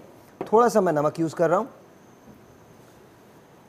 और ये भी हसब जायका, आप जितना नमक खाना चाहते हैं, उतना आपने डाल दिया इसके अंदर। एंड देन ऑफ़ कोर्स मैं ये करता हूँ। आपको ये करने की ज़रूरत नहीं, मैं ये करता हूँ। मैं चूँकि बहुत ज़्यादा मिर्चें खाता हूँ, लेकिन मैं साथ साथ इमीडिएटली जैसे ही दाल बनने लगती है उबलने लगती है, मैं इसके अंदर मिर्चें ऐड कर देता हूँ। And I I eat lot of spicy food I do because मुझे ऐसा लगता है कि जैसे मैं बगैर स्पाइसी फ़ूड के ज़िंदा नहीं रह सकता सर्वाइव नहीं कर सकता। No matter what it is मैंने इटालियन लोगों को भी मजबूर कर दिया कि वो स्पाइसी इटालियन बनाए। आई डेड आई डेड अच्छा जी तो ये हमने डाल दिया इसके अंदर। इसको मैं थोड़ी सी आँच को तेज़ कर रहा हूँ। अब सवाल ये पैदा होता है कि अब इसके अंदर और क्या डाला जाए जिसका टेस्ट अमेजिंग हो जाए, खूबसूरत हो जाए, बहुत अच्छा हो जाए। तो आइए मैं आपको बताता हूँ। एक साशे में आपको दिखाऊँगा। इस साशे का नाम है मसाको। ये साशे है मसाको का। देख लीजिए। यहाँ देख लीजिए। ये एक मसाको का साशे जो है वो दो चिकन क्यूब्स के बराबर है। एक मसाको का साशे दो चिकन क्यूब्स के बराबर है और इसकी प्राइस कितनी है? टोटल दस रुपये कितने रुपए की प्राइस है? पक्की बात है ना? ये दो चिकन क्यूब्स के बराबर है और इसकी प्राइस है दस रुपए। मैं आपसे पूछूँगा, मेरे पास मसाको की तरफ़ से गिफ्ट्स हैं गिफ्ट हैम्पर्स हैं और ये जनान और तहरीम आपको देंगी सो मेक श्योर आपको याद हो। मैंने कहा है कि एक मसाको का ये साशे है, ये दो चिकन क्यूब्स के बराबर है। कितने चिकन क्यूब्स के? दो चिकन क्यूब्स के। और इसकी प्राइस कितनी है? दस रुपए। और the best part about this is कि इट्स एब्सोल्युटली हंड्रेड परसेंट हलाल हलाल है हंड्रेड परसेंट हलाल है और इसके अंदर रियल चिकन का मीट यूज़ किया जाता है। इसके अंदर जो मीट यूज़ किया जाता है, वो रियल चिकन का मीट यूज़ किया जाता है। तो मैंने आपको चार चीज़ें बताई हैं। नंबर वन चीज़ मैंने आपको बताई है कि एक साशे कितनी चिकन क्यूब्स के बराबर है? दो। दूसरा मैंने आपको क्या बताया है कि इसकी प्राइस कितनी है? तीसरा मैंने आपको क्या बताया हंड्रेड परसेंट हलाल चिकन है, ठीक है? हंड्रेड परसेंट हलाल चिकन और चौथा मैंने आपको बताया कि इसके अंदर रियल चिकन मीट यूज़ किया जाता है। क्या यूज़ किया जाता है? और राइट जी, मैं इसको ओपन कर रहा हूँ। अब आपको ये तो पता चल गया होगा, दाल बहुत उबलने लगी है। मैंने ये एक साशे लिया है, दस रुपये की इसकी प्राइस है। दस रुपये में आपकी दाल बहुत अच्छा टेस्ट करेगी, बहुत कमाल टेस्ट करेगी। मैंने ये डाल दिया है और इसके बाद इसको मैंने चलाना शुरू कर दिया यहाँ पे। It's almost done almost ready लेकिन एक बहुत बड़ी चीज़ जो हम अक्सर करते हैं अंदारस बगार जो हम देते हैं। आ, मैं जब दाल बनाता हूँ तो दो चार चीज़ें मैं उसमें ज़रूर करता हूँ कि जब मैं बिगाड़ बगार दे देता हूँ उसके बाद उसको रख देता हूँ और इसको let it simmer for 15 minutes and that's set पंद्रह मिनट के बाद मैंने कभी दाल को इमीडिएटली नहीं खाया। आज भी मैं यही करूँगा कि इसको रख दूँगा। बघार हम दे रहे हैं। जो प्रॉब्लम मेरे साथ है वो सिर्फ़ चूल्हे जलाने का प्रॉब्लम है। ना हो गया जल गया। और जी थोड़ा सा मैंने इसमें ऑयल लिया है। कम ऑयल इस्तेमाल करता हूँ। उसका रीज़न ये है जितना कम ऑयल इस्तेमाल करेंगे उतना बेहतर है। और इसमें ज़ीरे की मैं बघार डालूँगा। आई डोंट पुट प्याज की बघार। मुझे ज़ीरा ज़्यादा पसंद है। आई थिंक ज़ीरे की बघार ज़्यादा बेहतर होती है। थोड़ा सा और डाल दूँ। ज़ीरे की बघार ज़्यादा बेहतर होती है लेकिन इसमें हमने जो आज चीज़ डाली है जिसने इसके फ्लेवर को इन्हांस कर दिया है that is called Masako Masako दस रुपये का आता है। आ, इसके अंदर रियल चिकन फ्लेवर है और साथ साथ हंड्रेड परसेंट हलाल मीट से बना हुआ है और एक मसाको का साशे कितने क्यूब्स के बराबर है? दो क्यूब्स के। तो ज़रा माइक उठा लीजिए। जनान, आप माइक उठा लीजिए। एंड तहरीम, आप माइक उठा लीजिए। माइक दे दीजिए जनान और तहरीम को। सवालात आपने करने हैं, आप लोगों का भी क्विज था। सवालात आपने करने और आपको मिलेगा मसाको की तरफ़ से गिफ्ट हैम पर ठीक है जी? तैयार हैं? अच्छा मैं पूछ लेता हूँ, मैं पूछ लेता हूँ। ये बताइए ये बताइए और आप लोग देखते रहेगा ये बताइए, एक मसाको का पैक जो है, वो कितने चिकन क्यूब्स के बराबर है? इन्होंने सबसे पहले बताया था। कितने? दो चिकन क्यूब्स है। प्लीज़ आपको आपको उठना पड़ेगा। आपको उठना पड़ेगा। बहुत सारी तालियाँ तो बजा दीजिए। क्या हो गया?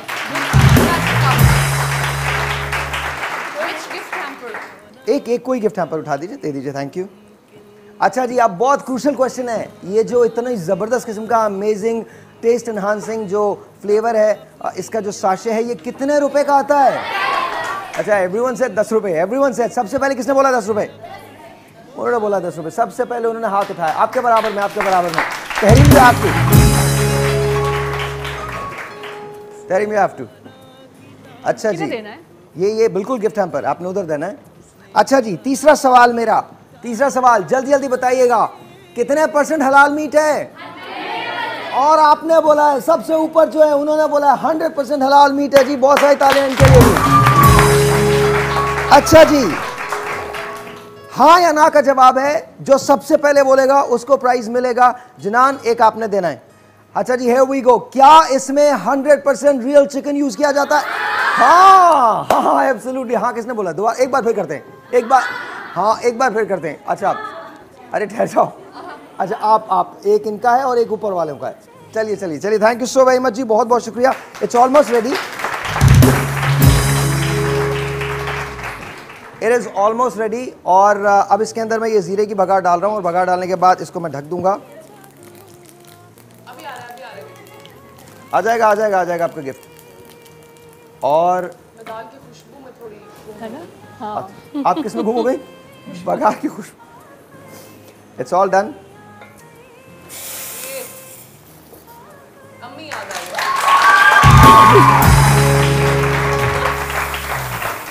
the thing is जब आप स्टूडेंट होते हैं तो आपको ज़िंदगी में बहुत सारे काम करने पड़ते हैं। और अच्छा एक और ट्रिक है दाल की। मैं जो मैं दाल बनाता हूँ उसकी ट्रिक ये है कि अब इसको मैं कुछ भी नहीं करूँगा बंद कर दूँगा। अब ये सिमर पे रहेगी और 15 मिनट के बाद आप इसे खाएँगे। इसमें जो टेस्ट आएगा वो रियल चिकन का टेस्ट होगा, क्योंकि इसमें डाला है हमने मसाको, जिसकी प्राइस कितनी है? Thank you Masako. बहुत बहुत शुक्रिया। गिफ्ट प्लीज़ आपका गिफ्ट रहेगा अरे हाँ दे रहा हूँ, भिजवा रहा हूँ। खुदा का वास्ता भिजवा रहा हूँ। प्लीज़ जाके दे दीजिए गिफ्ट ऊपर पहुंचवाएगा बंदा ऊपर नहीं पहुंचेगा। अच्छा जी। Thank you thank you Masako बहुत सारी तालियाँ थैंक यू जी मैम क्या कहानी क्या है आपकी? सबसे पहले तो अपना नाम बताइए। मेरा नाम अनम है। अनम ओके अनम क्या हुआ था? आप क्या कह रही हैं? बंदिश है। जी साहिर भाई अ, हमारी शादी हुई थी तो शादी के लिए घर वाले राज़ी नहीं थे। लव मैरिज हुई थी। उसके बाद शादी के बाद कुछ अरसे तक तो सब कुछ ठीक रहा था लेकिन फिर अचानक से सब कुछ बदलता गया। हस्बैंड की जॉब चली गई और पाँच साल हो गए हैं अभी तक औलाद भी नहीं हुई। तो ऐसा लगता है जैसे हमारी खुशियों को किसी की नज़र लग गई है क्योंकि हम लोगों ने घर वालों के ख़िलाफ़ जाके शादी की थी। आप लोगों ने कोर्ट में शादी की थी? नहीं। मतलब वो राज़ी नहीं थे उन्हें मनवाया था कि शादी करनी है हमने। और शादी कर ली? जी। Sir open. क्या कहते हैं? देखिए, एक बात तो ये कि हर एक मामले में जादू नहीं होता। शादी के शुरू के बाद कुछ मामला होते हैं। जब लव लव मैरिज होती है, उसके बाद प्रॉब्लम इसलिए क्रिएट होती है कि हम बहुत ज़्यादा परसेप्शन लड़का भी परसेप्शन करता है, एक बहुत ज़्यादा ज्यूम कर लेता है, ऐसा होगा, लड़की भी कर लेती है, उसके बाद रुकावटें आना शुरू हो जाती हैं। रहा जॉब का मामला कभी कभी ऐसा होता है सार भाई कि लड़की की ख्वाहिश होती है कि मैं चालीस हज़ार की जॉब करूँ और उसे मिल रही होती है, उसे मार्केट के अंदर होती है बीस हज़ार की। एक मिसाल दे रहा हूँ। तो हम ये समझ रहे होते हैं कि मुझ पर जादू हो गया, जब भी मेरी, जो मेरी काबिलियत है मेरी अहलियत उसके मुताबिक जॉब नहीं मिल रही। तो ऐसा नहीं है जो जॉब मिल रही है जिस तरह की मिल रही है आप काम करें। अल्लाह सुबह तो करें ना उसके बाद चीज़ें बेहतर बेहतर हो जाएँगी। अच्छा रिश्तों के अंदर मामला होते हैं। अच्छा पहले इनसे ये पूछ लें कि आपको कैसे लगता है बंदिश है? या जादू है? कैसे लगता है आपको? जैसे कि आपने कहा कि शुरुआत तो होनी चाहिए कहीं से लेकिन इंटरव्यू के लिए कॉल्स आती हैं इंटरव्यू देने जाते हैं क्वालिफिकेशन भी अच्छी है लेकिन उसके बाद वहाँ से कोई रिस्पॉन्स नहीं आता। तो ये बंदिश अच्छा क्या ये क्या ये नज़र का केस हो सकता है कनान क्या नज़र लग सकती है? क्या इस कपल को नज़र लग सकती है? अगर ये बहुत अच्छे हैं बहुत बहुत गुड लुकिंग है इन्हीं के इन्हीं के जो खैर अंदेश नहीं है वो नज़र लगा सकते हैं? बिल्कुल साहिर भाई नज़र तो शादीशुदा जोड़ों को लगती है बिल्कुल लगती है क्योंकि नज़र जो है ये principle of thoughts of wave पे काम करती है। जो नेगेटिव या पॉजिटिव सोचता है ना इंसान तो इंसान की सोच में इतनी ताकत है कि वो माशरे तक को बना या बिगाड़ सकती है तो फिर एक इंसान या दो लोग तो बहुत छोटी चीज़ है उसके सामने। लेकिन प्रॉब्लम ये है कि जो इंसान हसद कर रहा है, वो जिस हसद में मुबतला है, उस पॉइंट ऑफ़ व्यू से वो नज़र लगाएगा। हो सकता है किसी की शादी नहीं हो रही पसंद की या किसी के यहाँ औलाद नहीं है तो वो हसद कर रहा है तो उसकी नज़र लग सकती है। लेकिन इनका जो केस है, वो डिफरेंट है। मुझे ऐसा लग रहा है कि इसमें नज़र का नहीं है, क्योंकि इंसान की ज़िंदगी में, बाज़ टाइम टाइम ऐसा आता है, जिसे हम बैड टाइम पीरियड कहते हैं। कि उसमें उसके चीज़ें वैसे लाइन अप नहीं हो रही होती जैसे वो ख्वाहिश कर रहा होता है। तो हो सकता है इनका बैड टाइम पीरियड चल रहा हो। और दूसरी चीज़ ये है कि इन्होंने जहाँ तक बात की औलाद की तो इनको सबसे पहले तो ये पूछे कि इन्होंने इनके हस्बैंड ने या इन्होंने किसी डॉक्टर से रबता किया चेकअप करवाया उसके बाद ही नज़र पे हम ब्लेम कर सकते हैं। सबसे पहले तो हमें ये चीज़ें भी देखनी एक एक ब्रेक लेते हैं ब्रेक के बाद इन्हीं से बात करते हैं। आपके कोई सवाल हैं या टेलीफोन कॉल है तो please give us a call छोटा सा एक ब्रेक आपसे मिलते हैं ब्रेक के बाद। गुड मॉर्निंग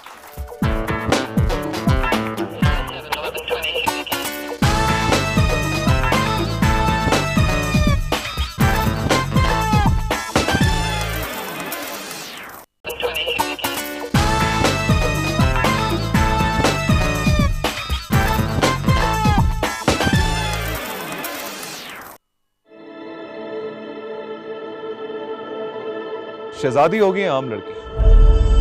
सबसे अलग होगी सबसे मुख्तलिफ़। और इस दीवारों के पीछे मेरी शहजादी क्या है?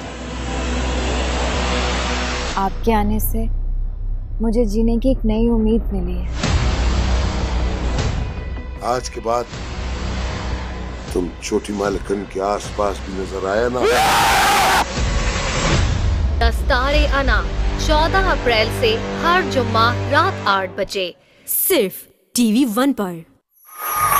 हाँ जी सो दो दिन रह गए दस्ताराना चौदह अप्रैल को आठ बजे पेश होगा। मोहसिन तलत ने इसे डायरेक्ट किया है, उजमा गिलानी साहिबा is there Salman is there so make sure you are watching दस्ताराना आठ बजे होगा। कितने बजे होगा? टीवी वन पे। ओके जी हाँ जी, बताइए। सर क्या कहना चाहते हैं नूर साहब? इस केस के सिलसिले में। देखिए, मैंने एक बात पहले भी अर्ज़ की थी कि हर मामले को हमें जादू, टोने, बंदिश की तरफ़ लेके नहीं जा, एक मिसाल मैं देता हूँ। एक बच्चा है, बच्चा कमरे के अंदर रो रहा है माँ बाप बच्चे से बहुत ज़्यादा मोहब्बत करते हैं। अल्लाह ताला कैसे आजमाता है और अल्लाह ताला कैसे गुनाहों को झाड़ता है, अल्लाह ताला कैसे पाक और साफ़ और क्लीन करता है। एक बच्चा रोने की आवाज़ आ रही है, माँ साथ है, बाप दूसरे कमरे में पूछता है कि इतना क्यों रो रहा है ये? तो माँ कहती है कि मैं इसकी गंदगी साफ़ करूँ इसलिए रो रहा है। तो कभी कभी अल्लाह सुबहाना हुआ ताला गुनाहों की गंदगी को साफ़ कर रहा होता है। जो आजमाइशें आती हैं जिनको हम कहते हैं ना बैड टाइम वो आजमाइशें आती हैं अल्लाह ताला हमारे गुनाहों को झाड़ रहा होता है अपनी बारगाह में हमें कबूल कर रहा होता है। जब इंसान साफ़ सुथरा होता है तो अल्लाह ताला उसे बहुत अता फरमाता है। बबशिमिन साबरीन।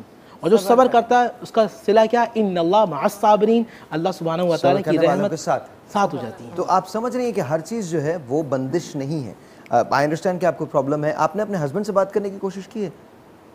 इस बारे में? नहीं कम्युनिकेशन ओपन करने की कोशिश की है कि जी प्रॉब्लम क्या है जहाँ उनकी हिम्मत बढ़ाई है। आ, कोशिश की है कि आप उनसे ज़रा अपनी अपनी चीज़ें कह सके अपने दिल की बस बात। वो भी यही कहते हैं कि अल्लाह की तरफ़ से क्या कर सकते हैं। तो बस। आप आप पढ़ी लिखी हैं? जी। आप जॉब करती हैं। नहीं।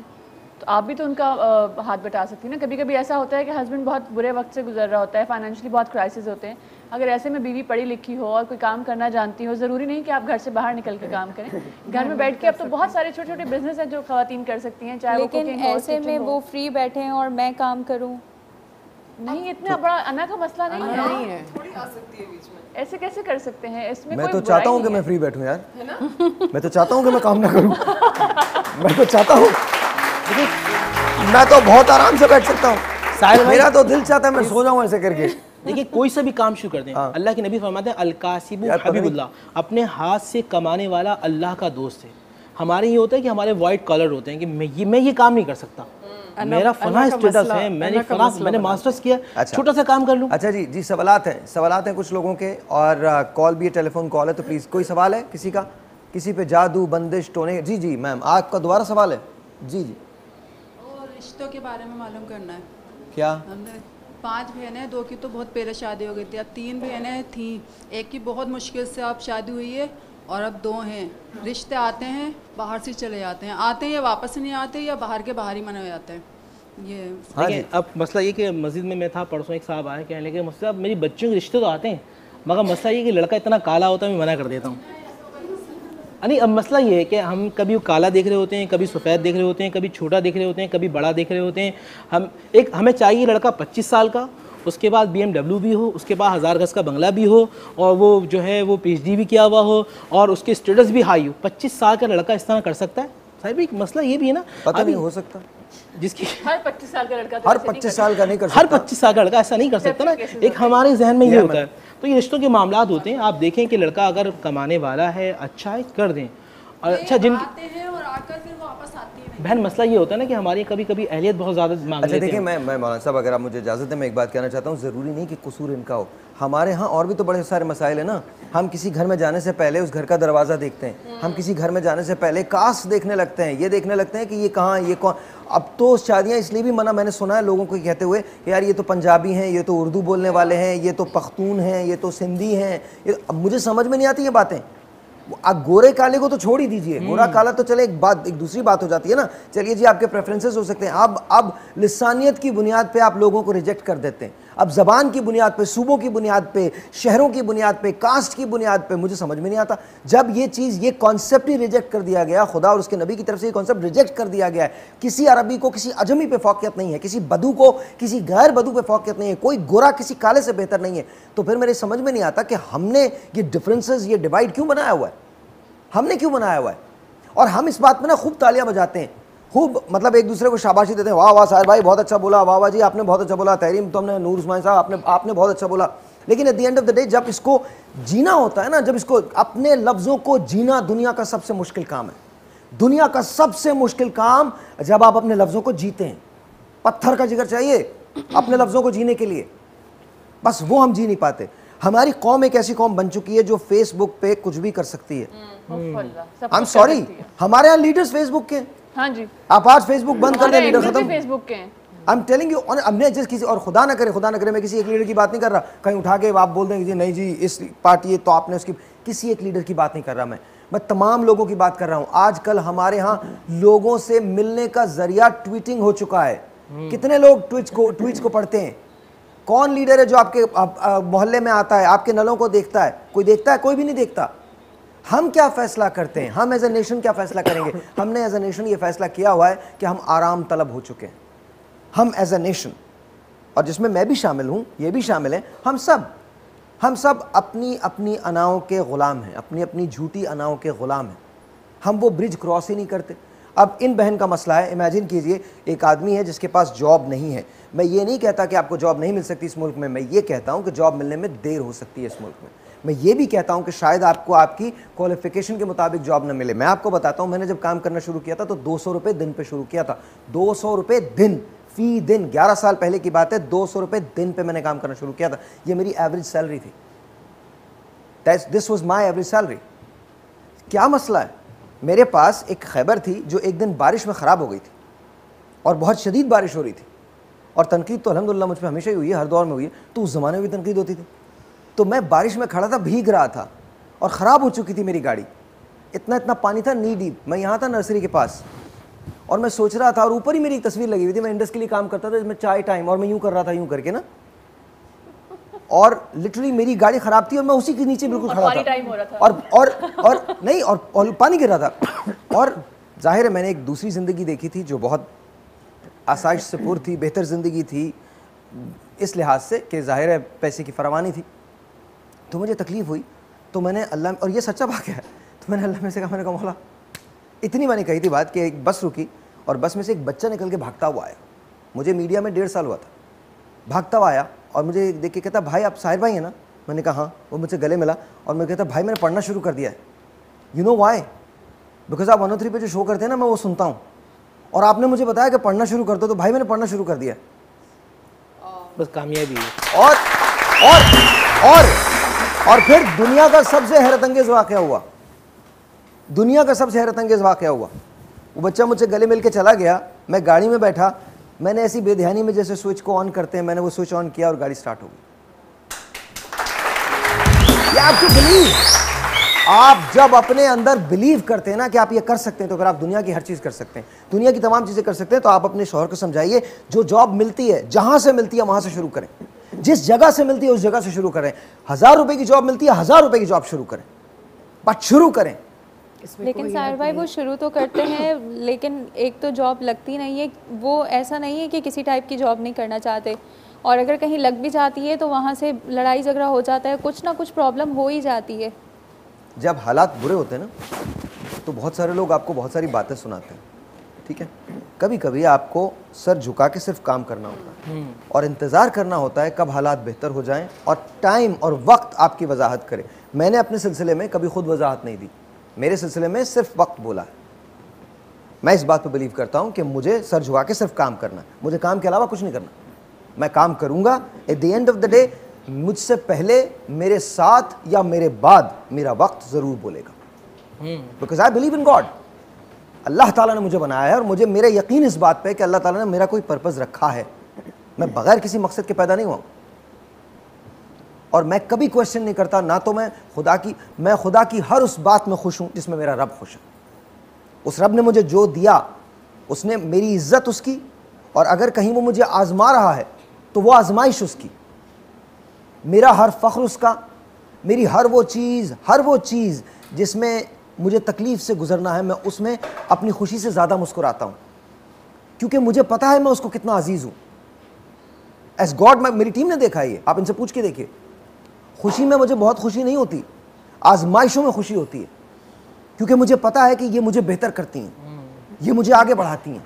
निखारती हैं। अल्लाह पे भरोसा। एक मरतबा सैदना अली हैदे का गमगीन बैठे हुए लोगों ने पूछा गमगीन क्यों है? कहा ना मैं बीमार हूँ ना कोई परेशानी आई है। कहा इस पर क्यों? कहा मसला ये जब परेशानी आती है बीमारी आती है तो अल्लाह सुबहान व ताला बंदों को करीब कर लेता है। तो यही मामला अगर हमारी कौम ये समझ ले कि बीमारी और परेशानी में बंदा अल्लाह के करीब हो जाता है तो ये फिर जो आ वाली बात है तो फिर वो सब चीज़ें छोड़ सोचना छोड़ दे एक बात है ज़माने को कभी बुरा ना कहें ज़माना अल्लाह सुबहान तला शाह फरमाता है मैं खुद तो आप मेहनत करते रहें इन कामयाब व कामरान हो जाएँगे। और आप भी यही रखिए देखिए और अगर वज़ाइफ कुछ ऐसे हैं जिससे रिस्क में फरावान बिल्कुल। देखिए, बता दीजिए। बहन का सवाल था शादी के हवाले से वो बता दूँ कि जिनकी शादी नहीं हो रही वो बहनें सूर्य अखलास बाद नमाज़ इशा सौ मरतबा पढ़ें इन अल्लाह सुबहान वाली ताला अच्छे रिश्ते लाएगा। सुबह उठकर अब रिस्क के लिए सूर्य बकरा की तिलावत करें कम से कम एक रुकू पढ़ लें अगर सूर्य बकरा मुकम्मल ना पढ़ सकें। एक तीन सौ तेरह मरतबा या मालिकू या रज्जाकू पढ़ें। अगर कसरत करें अच्छा ये रिस्क में फरावानी के लिए। जी, बिल्कुल। अच्छा एक बार फिर तमाम ऑडियंस को बता दें ताकि तमाम लोग इसको पढ़ सकें। बता दीजिए प्लीज़ सुबह उठकर फजर की नमाज़ के बाद सूर्य बकरा की कम अज़ कम एक रुकू पढ़ें। कोशिश करें कि 11 दिन के अंदर सूर्य बकरा ख़त्म कर लें। ठीक है। एक का। या मालिकू या रज्जाकू तीन सौ तेरह मरतबा पढ़ें। अच्छा तो ये कि पूरा दिन या मालिकू या रज्जाकू का विरत करें कसरत करें। और ये हर रोज़। हर रोज़ करें। तो इन अल्लाह सुबहान और दुआ मांगते हैं कि अल्लाह राजिक भी तू है मालिक भी तू है। इसको मा, इसको मामूल बना लें तो बेहतर है। बहुत अच्छा क्योंकि फजर की नमाज़ के बाद अगर आप ये पढ़ लेते हैं या रज या राजिको या मालिको हाँ, तो हाँ। आई थिंक और 313 मरतबा पढ़ लें या इसका विरद करते विरत रहें करेंगे तो बहुत ही अच्छा तो एक बेहतर चीज़ है बहुत। अच्छा। अच्छा एक चीज़ और भी जो हमारे औलिया कामली ने बताई है वो है या अल्लाह या रहमानो या रहीम। जैसे बिस्मिल्लाहिर्रहमानिर्रहीम। या अल्लाह या अल्लाह या या रहीम। रहमान रहीम तो हर एक चीज़ के लिए जितनी भी मुश्किल हैं साहिर भाई उन तमाम चीज़ों का हल या अल्लाह या रहमान या रहीम में और जी एक टेलीफोन कॉल है लेट्स टेक दैट बल्कि जनान आप ले लीजिए। हेलो अस्सलाम हाँ, वो भी वालेकुम। हेलो। जी अस्सलाम वालेकुम। कौन बात कर रही है? हेलो। हेलो। जी। जी। आप अपना नाम बताइए प्लीज़ आयशा। आयशा। आयशा आप कुछ कहना चाहेंगी बंदिश और ये जादू और नज़र के हवाले से? या कोई सवाल अ, पूछना चाहेंगी? अ, नहीं जी अ, मुझे मैंने इनसे इलाज कराया था। फराना बाजी है अभी। अच्छा अच्छा। हाँ जी। अ, जी अ, उस उसके हवाले से मुझे बताना था। जी बताइए। जी, मेरा सक्सेसफुल हुआ था इनके ट्रीटमेंट से और सात, आठ साल बाद मतलब मैंने कंसीव किया था। बहुत शुक्रिया जी। बहुत बहुत बहुत बहुत नवाजिश बहुत नवाजिश बहुत नवाजिश। अच्छा जी, और कोई सवाल है किसी का यहाँ पे? बाद में ले लेंगे, एक छोटा सा ब्रेक है, आपसे मिलते हैं ब्रेक के बाद। ब्रेक के बाद बात करेंगे नज़र पे। अचानक बनते हुए काम बिगड़ जाते हैं, आप तैयार होकर घर से निकलते हैं, आपके साथ कुछ और हो जाता है, काली बिल्ली रास्ता काट जाती है और ऐसा लगता है कि जैसे आपकी ज़िंदगी मुतासर हो गई है। कौन लोग हैं जो आपका बुरा चाहते हैं? क्या वो लोग जो आपका बुरा चाहते हैं, उनकी नज़र वाकई आपके किसी काम को मुतासर कर सकती है? बात करते हैं ब्रेक के बाद। Will be right back good morning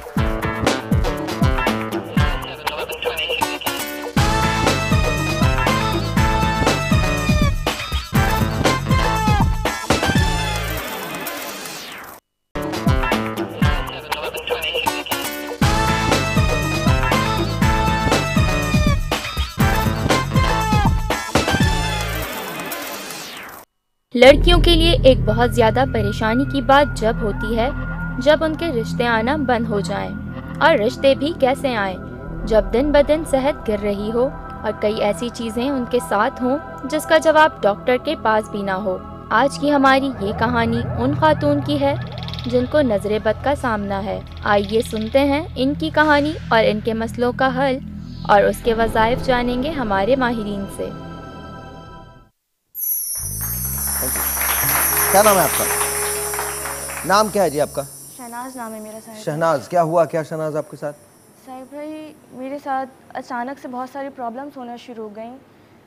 हम पाँच बहनें हैं। सबसे बड़ी बहन मैं हूँ। ओके। अब हमारे अगर रिश्ते आते हैं तो मैं वाहिद दिखने में बहुत खूबसूरत हूँ बहुत टैलेंटेड थी। हर चीज़ में मतलब अच्छे नंबर लाती थी पढ़ाई में सब कुछ।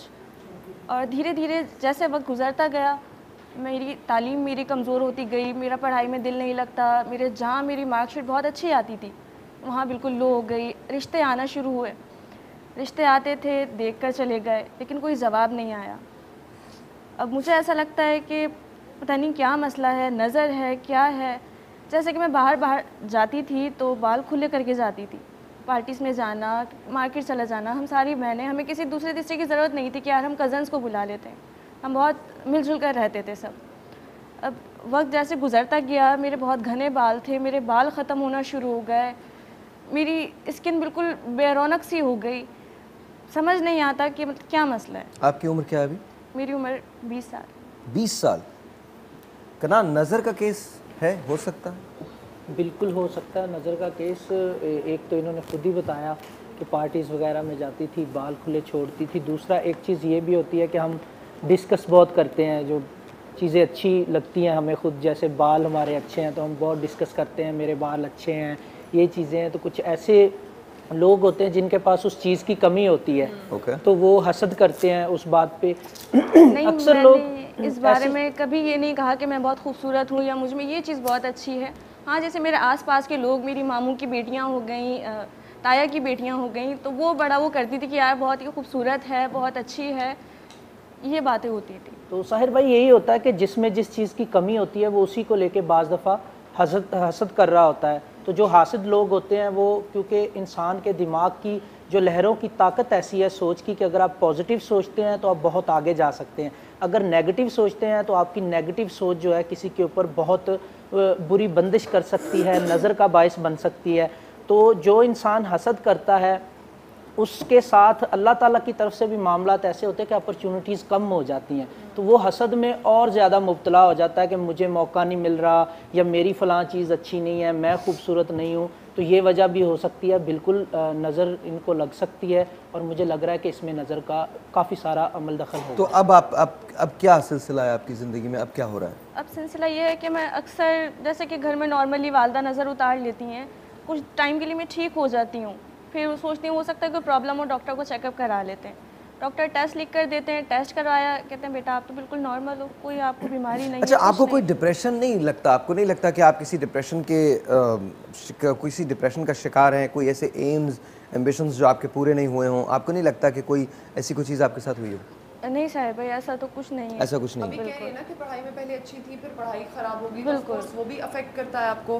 फिर रिश्ते आते हैं जवाब नहीं आता उसका भी डिप्रेशन हो सकता है you know lot of things बिल्कुल एक सोच रहती है कि धीरे धीरे हर चीज़ का लॉस होता चला जा रहा है। क्यों होता चला जा रहा है? वैसे आप पर्सनली क्या प्रॉब्लम ये तो चलें पढ़ाई का आपका प्रॉब्लम है या रिश्ते नहीं आ रहे लेकिन वैसे आपको क्या प्रॉब्लम होती है मेडिकली जो आप डॉक्टर के पास आपके यहाँ जाती किसी कज़न की शादी जल्दी हुई है? आपसे जल्दी। जी बिल्कुल। हुई है। हमारी अपनी बिल्कुल ऐसी फैमिली में हैं कजन्स जिनकी वक्त से पहले मतलब शादी हो गई वक्त से पहले शादी हो गई और वो आपके साथ पहले बहुत खेला बहुत करती अटैच बहुत थी और हाँ। अब अचानक उखड़ी उखड़ी रहने लगी हमसे ताल्लुक काटने लगी। अब रीज़न समझ नहीं आता क्यों? जी भाई नज़र का केस लगता है आपको? नज़र का केस भी हो सकता है बदनज़री भी हो सकती है बिल्कुल फिर उसके बाद इंसान डिप्रेस भी होता है। असल में जब नज़र लगती है तो सबसे पहले होता ये है कि इंसान डिप्रेशन का शिकार होता है और उसका किसी चीज़ में दिल नहीं लगता। अपना ही जो काम वो कर रहा होता है जिसमें काबिलियत होती है उसकी उसी को करने को दिल नहीं कर रहा होता। लेज़ी हो जाता है बहुत ज़्यादा अच्छा ज़्यादा। मेरे ख्याल में जो मेरी अपनी ज़ाती राय है हो सकता है वो बिल्कुल गलत हो। मैं अपना मैंने आपसे एक सवाल किया था उसका रीज़न था। कभी कभी ऐसा होता है कि हम उम्री में जब लोग हमसे थोड़ा सा आगे निकल जाएँ हमारे हम उम्र आगे निकल जाएँ और हमारे यहाँ एक बहुत बहरहाल शादी एक बहुत अच्छी चीज़ है। और करनी भी चाहिए लेकिन सिर्फ़ शादी ही नहीं करनी चाहिए और बहुत सारे काम भी करने चाहिए। लेकिन हमारे यहाँ सिर्फ़ शादी ही को एक चीज़ समझ लिया जाता है कि बस ये एक ऐसा पॉइंट है कि जहाँ इसके बाद अचीव बहुत बड़ी अचीवमेंट है। तो ये आपकी ज़िंदगी की हाईलाइट आपकी ज़िंदगी का एक बहुत बड़ा जुज्व है हिस्सा है लेकिन ये सिर्फ़ आपकी ज़िंदगी की हाईलाइट नहीं हो सकती। आपकी ज़िंदगी की सिर्फ़ हाईलाइट शादी नहीं है। डेफिनेटली करनी चाहिए घर बसाना चाहिए बच्चे होने चाहिए। तो आई थिंक इनके केस में जो हुआ है वो ये हुआ है कि शायद इनके कुछ कजन्स की शादी इनसे पहले हो गई है। तो थोड़ा सा आपने डिप्रेस होना उस वजह से भी शुरू किया कि रिश्ते तो आपके आ रहे थे? आपकी कोई बात पक्की नहीं हुई। तो उनकी शादी कैसे हो गई? फिर ज़ाहिर है अगर उनमें से कोई साहिब औलाद हो गई लेकिन साहिब भाई मसला ये है कि दरअसल अगर आते मेरे लिए भी थे ना तो वो मेरी छोटी बहनों को पसंद कर जाते थे। उनको भी अगर पसंद कर जाते थे तो वहाँ से भी कोई अच्छा रिस्पांस नहीं आता था बात ख़त्म कर देते थे। देखिए एक बात ये होती है कि मायूसी का मामला भी है। एक बात है देखिए बहन अल्लाह सुबहान हुआ ताला ने जब आपको पैदा किया है तो आपका रिश्ता किससे होना है कब होना है कहाँ होना है ये तकदीर में सब लिखा जा चुका है। आप अल्लाह सुबहान हुआ ताला के लिखे हुए कामिल यकीन रखें तो जो डिप्रेशन है जो मायूसी ये ख़त्म होना शुरू हो जाएगी। अल्लाह सुबह कुरान की तिलावत करें नमाज़ की पाबंदी करें बावजू रहें तो इन ये तमाम चीज़ जो आपके जहन में आ रही है ना कि बंदिश हो गई है नज़र हो गई है मैं पहले इतना पढ़ती थी। अब देखिए आप जब पढ़ने बैठती हैं वो आपके पूरा एक सर्कल जो है ना वो जहन में आना शुरू हो जाता है तो पढ़ाई डिस्टर्ब हो जाती है। अब आप कहती हैं जिस तरह मैं पहले याद करती थी अब याद इसलिए नहीं होता कि आपका जहन मुंतशिर हो चुका है। एक पॉइंट मिल आएँगी तो आप पढ़ाई अच्छा अच्छा कभी कभी आप आएँगे कोई देखने के लिए आप परेशान हैं कि यहाँ रिश्ता होगा साहब चूँकि वक्त कम है इसलिए हम एक काम करते हैं पहले तो आप तीन अदद वज़ाइफ बता दें हमने नज़र की बात की जादू की बात की और बंदिश की बात की। तो इनके अगर कोई मुजरब वज़ाइफ है तो वो प्लीज़ सबसे पहले तो आवाम को वो बता दें ताकि लोगों को ये पता चल सके कि करना क्या। देखिए हदीस कुस्सी के हदीस शरीफ के अंदर है हदीस कुस्सी हदीस शरीफ के अंदर है कि जिस पे जादू हो या नज़र बद हो। तो सूरह फ़लक और सूरह नास की कसरत से तिलावत करें। सूरह फ़लक और नास की कसरत से तिलावत करेंगे इससे नज़र बद और जादू के मामला ख़त्म हो जाएँगे। जिनके घर में बेबरकती बहुत ज़्यादा है, परेशानी बहुत ज़्यादा है, पैसा आता और ख़त्म हो जाता है तो अल्लाह के नबी सल्लल्लाहु अलैहि वसल्लम का इरशाद हमारे सामने वाज है कि उस घर के अंदर जब सूर्य बकरा की तिलावत की जाएगी तो जो वीरानगी है, वो ख़त्म हो जाएगी, नहूसत ख़त्म हो जाएगी। जो लोग चाहते हैं कि तरक्की हो तो जो मैंने आपको नाम बताया, या अल्लाह हो, या रहमान हो, या रहीम, मुस्तकिल इसका विट करें तो इन हर जहाँ आप कदम उठाएँगे अल्लाह सुबहान व ताली की रहमतें नाजिल होंगी और आपकी सारी परेशानियाँ ख़त्म हो जाएँगी। जिन बहनों के रिश्ते नहीं आ रहे, वो बाद नमाज़ इशा सूर अखलास सौ मरतबा पढ़ें तो इन रिश्तों में जो रुकावट हैं मुश्किल हैं, वो ख़त्म हो जाएँगी। जिन जिन भाइयों और बहनों के औलाद के मामले हैं, औलाद नहीं हो रहे, वो असर और मगरब के दरमियान दो अल्लाह के नाम हैं, या मुसविर या बारी या मुसविर या बारी असर और मगरब के दरमियान मुस्तकिल पढ़ते रहें। और पूरे दिन के अंदर या हयू या क्यूम या हयू या क्यूम का वर्द करते रहें तो इन सारे मामला हल हो जाएँगे। दरूद शरीफ की कसरत करें। जितना आप अल्लाह सुबहाना व ताली के प्यारे रसूल सल्लल्लाहु अलैहि वसल्लम पे दरूद पढ़ते हैं उतनी अल्लाह की रहमतें नाजिल होती हैं। नबी सलाम की ख़ास नज़र करम होती है। दरूद पढ़ते हैं आपके जो नेकियाँ बढ़ती हैं दरूद पढ़ते हैं आपके गुनाह ख़त्म होना शुरू हो जाते हैं और सारे मामला आपके स्मूथ होना शुरू हो जाते हैं। तो दरूद की कसरत करते हैं बहुत बहुत शुक्रिया जनान आपसे शुरू करते हैं। हमको रैप करना है। एक तो हिसार सुबह सुबह बड़ा ज़रूरी है अपना क्योंकि आपको नहीं पता चलता। एग्जैक्टली exactly, मैं भी अक्सर गाड़ी में जा रही होती हूँ और मैं देखती हूँ किसी को जो रोड पे खड़ी है कोई औरत। जब वो मुझे देखेगी तो उसके दिल में हसरत तो आएगी ना। हालाँकि वो मेरी गाड़ी नहीं होती मैं तो शूट की गाड़ी पे जा रही होती हूँ you know but nobody knows तो आप एग्जैक्टली exactly, तो आप अपने ऊपर हिसार सुबह दुरुद शरीफ आयतल कुर्सी फातिहा चार कुल सिंपल ये आप पढ़ के अपने ऊपर फूंक ले अपना हिसार करके अल्लाह मियाँ के सपोर्ट कर दें अपने आप को और चल पड़े। जी फराना बाज़ दफ़ा अपनी नज़र भी लग जाती है अपनी नज़र भी लग जाती जी अपनी नज़र भी लगती है वालदेन की भी नज़र लगती है दोस्तों की भी लगती है। इनको इनका इनके साथ जो केस है इनका अपना भी हो सकता है कि इनको बाज़ दफ़ा अपनी, अपनी नज़र लगी अपनी भी नज़र लगी है। दूसरा घर से निकलने से पहले की दुआ पढ़िए आयतल कुर्सी पढ़ें चार पुल पढ़ें। सूर्य नसर की तिलावत ज़रूर क्या करें ट्वेंटी वन टाइम। और जी तहरीन। हाँ जी बिल्कुल मैं सुंदस की बात से इतफाक़ करूँगी कि जब आप घर से निकलते हैं तो आयतल कुर्सी और जो तीन कुल पढ़ती हूँ मैं ये बहुत ज़रूरी होते हैं। आपको आ, मुझे ऐसा लगता है कि एक इंश्योरेंस होती है जो आप अपनी करके खुद से निकल रहे होते हैं। सो ये बहुत इंपॉर्टेंट है और इससे बहुत फ़र्क पड़ता है।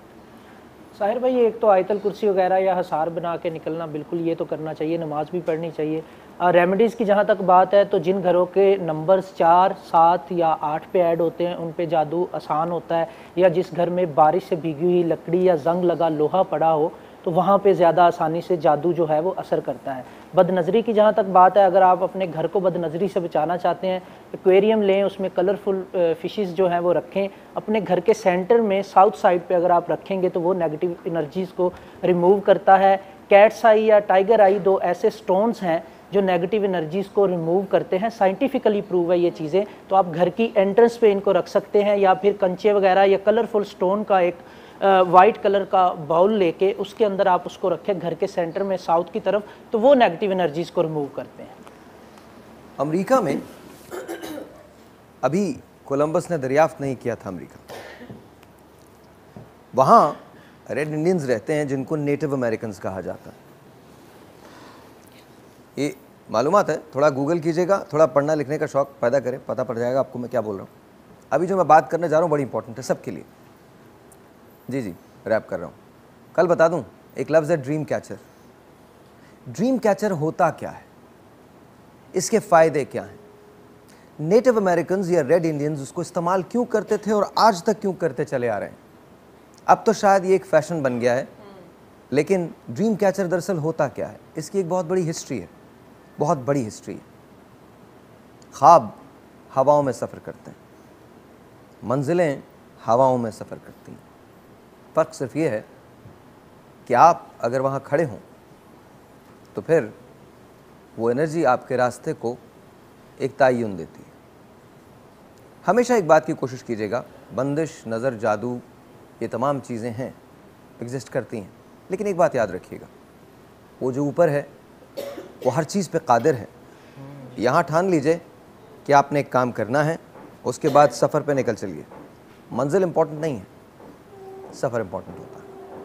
कल बताऊँगा कि ड्रीम कैचर क्या कल जब शो ओपन करूँगा तो आपको ड्रीम कैचर के बारे में बताऊँगा। अपने दोस्तों को बताइएगा कि ड्रीम कैचर हो सकता है, मेरी कल की बात आपको कुछ फ़ायदा दे जाए। आज के लिए यही शो था, तब तक के लिए खुदा हाफ़िज़। अल्लाह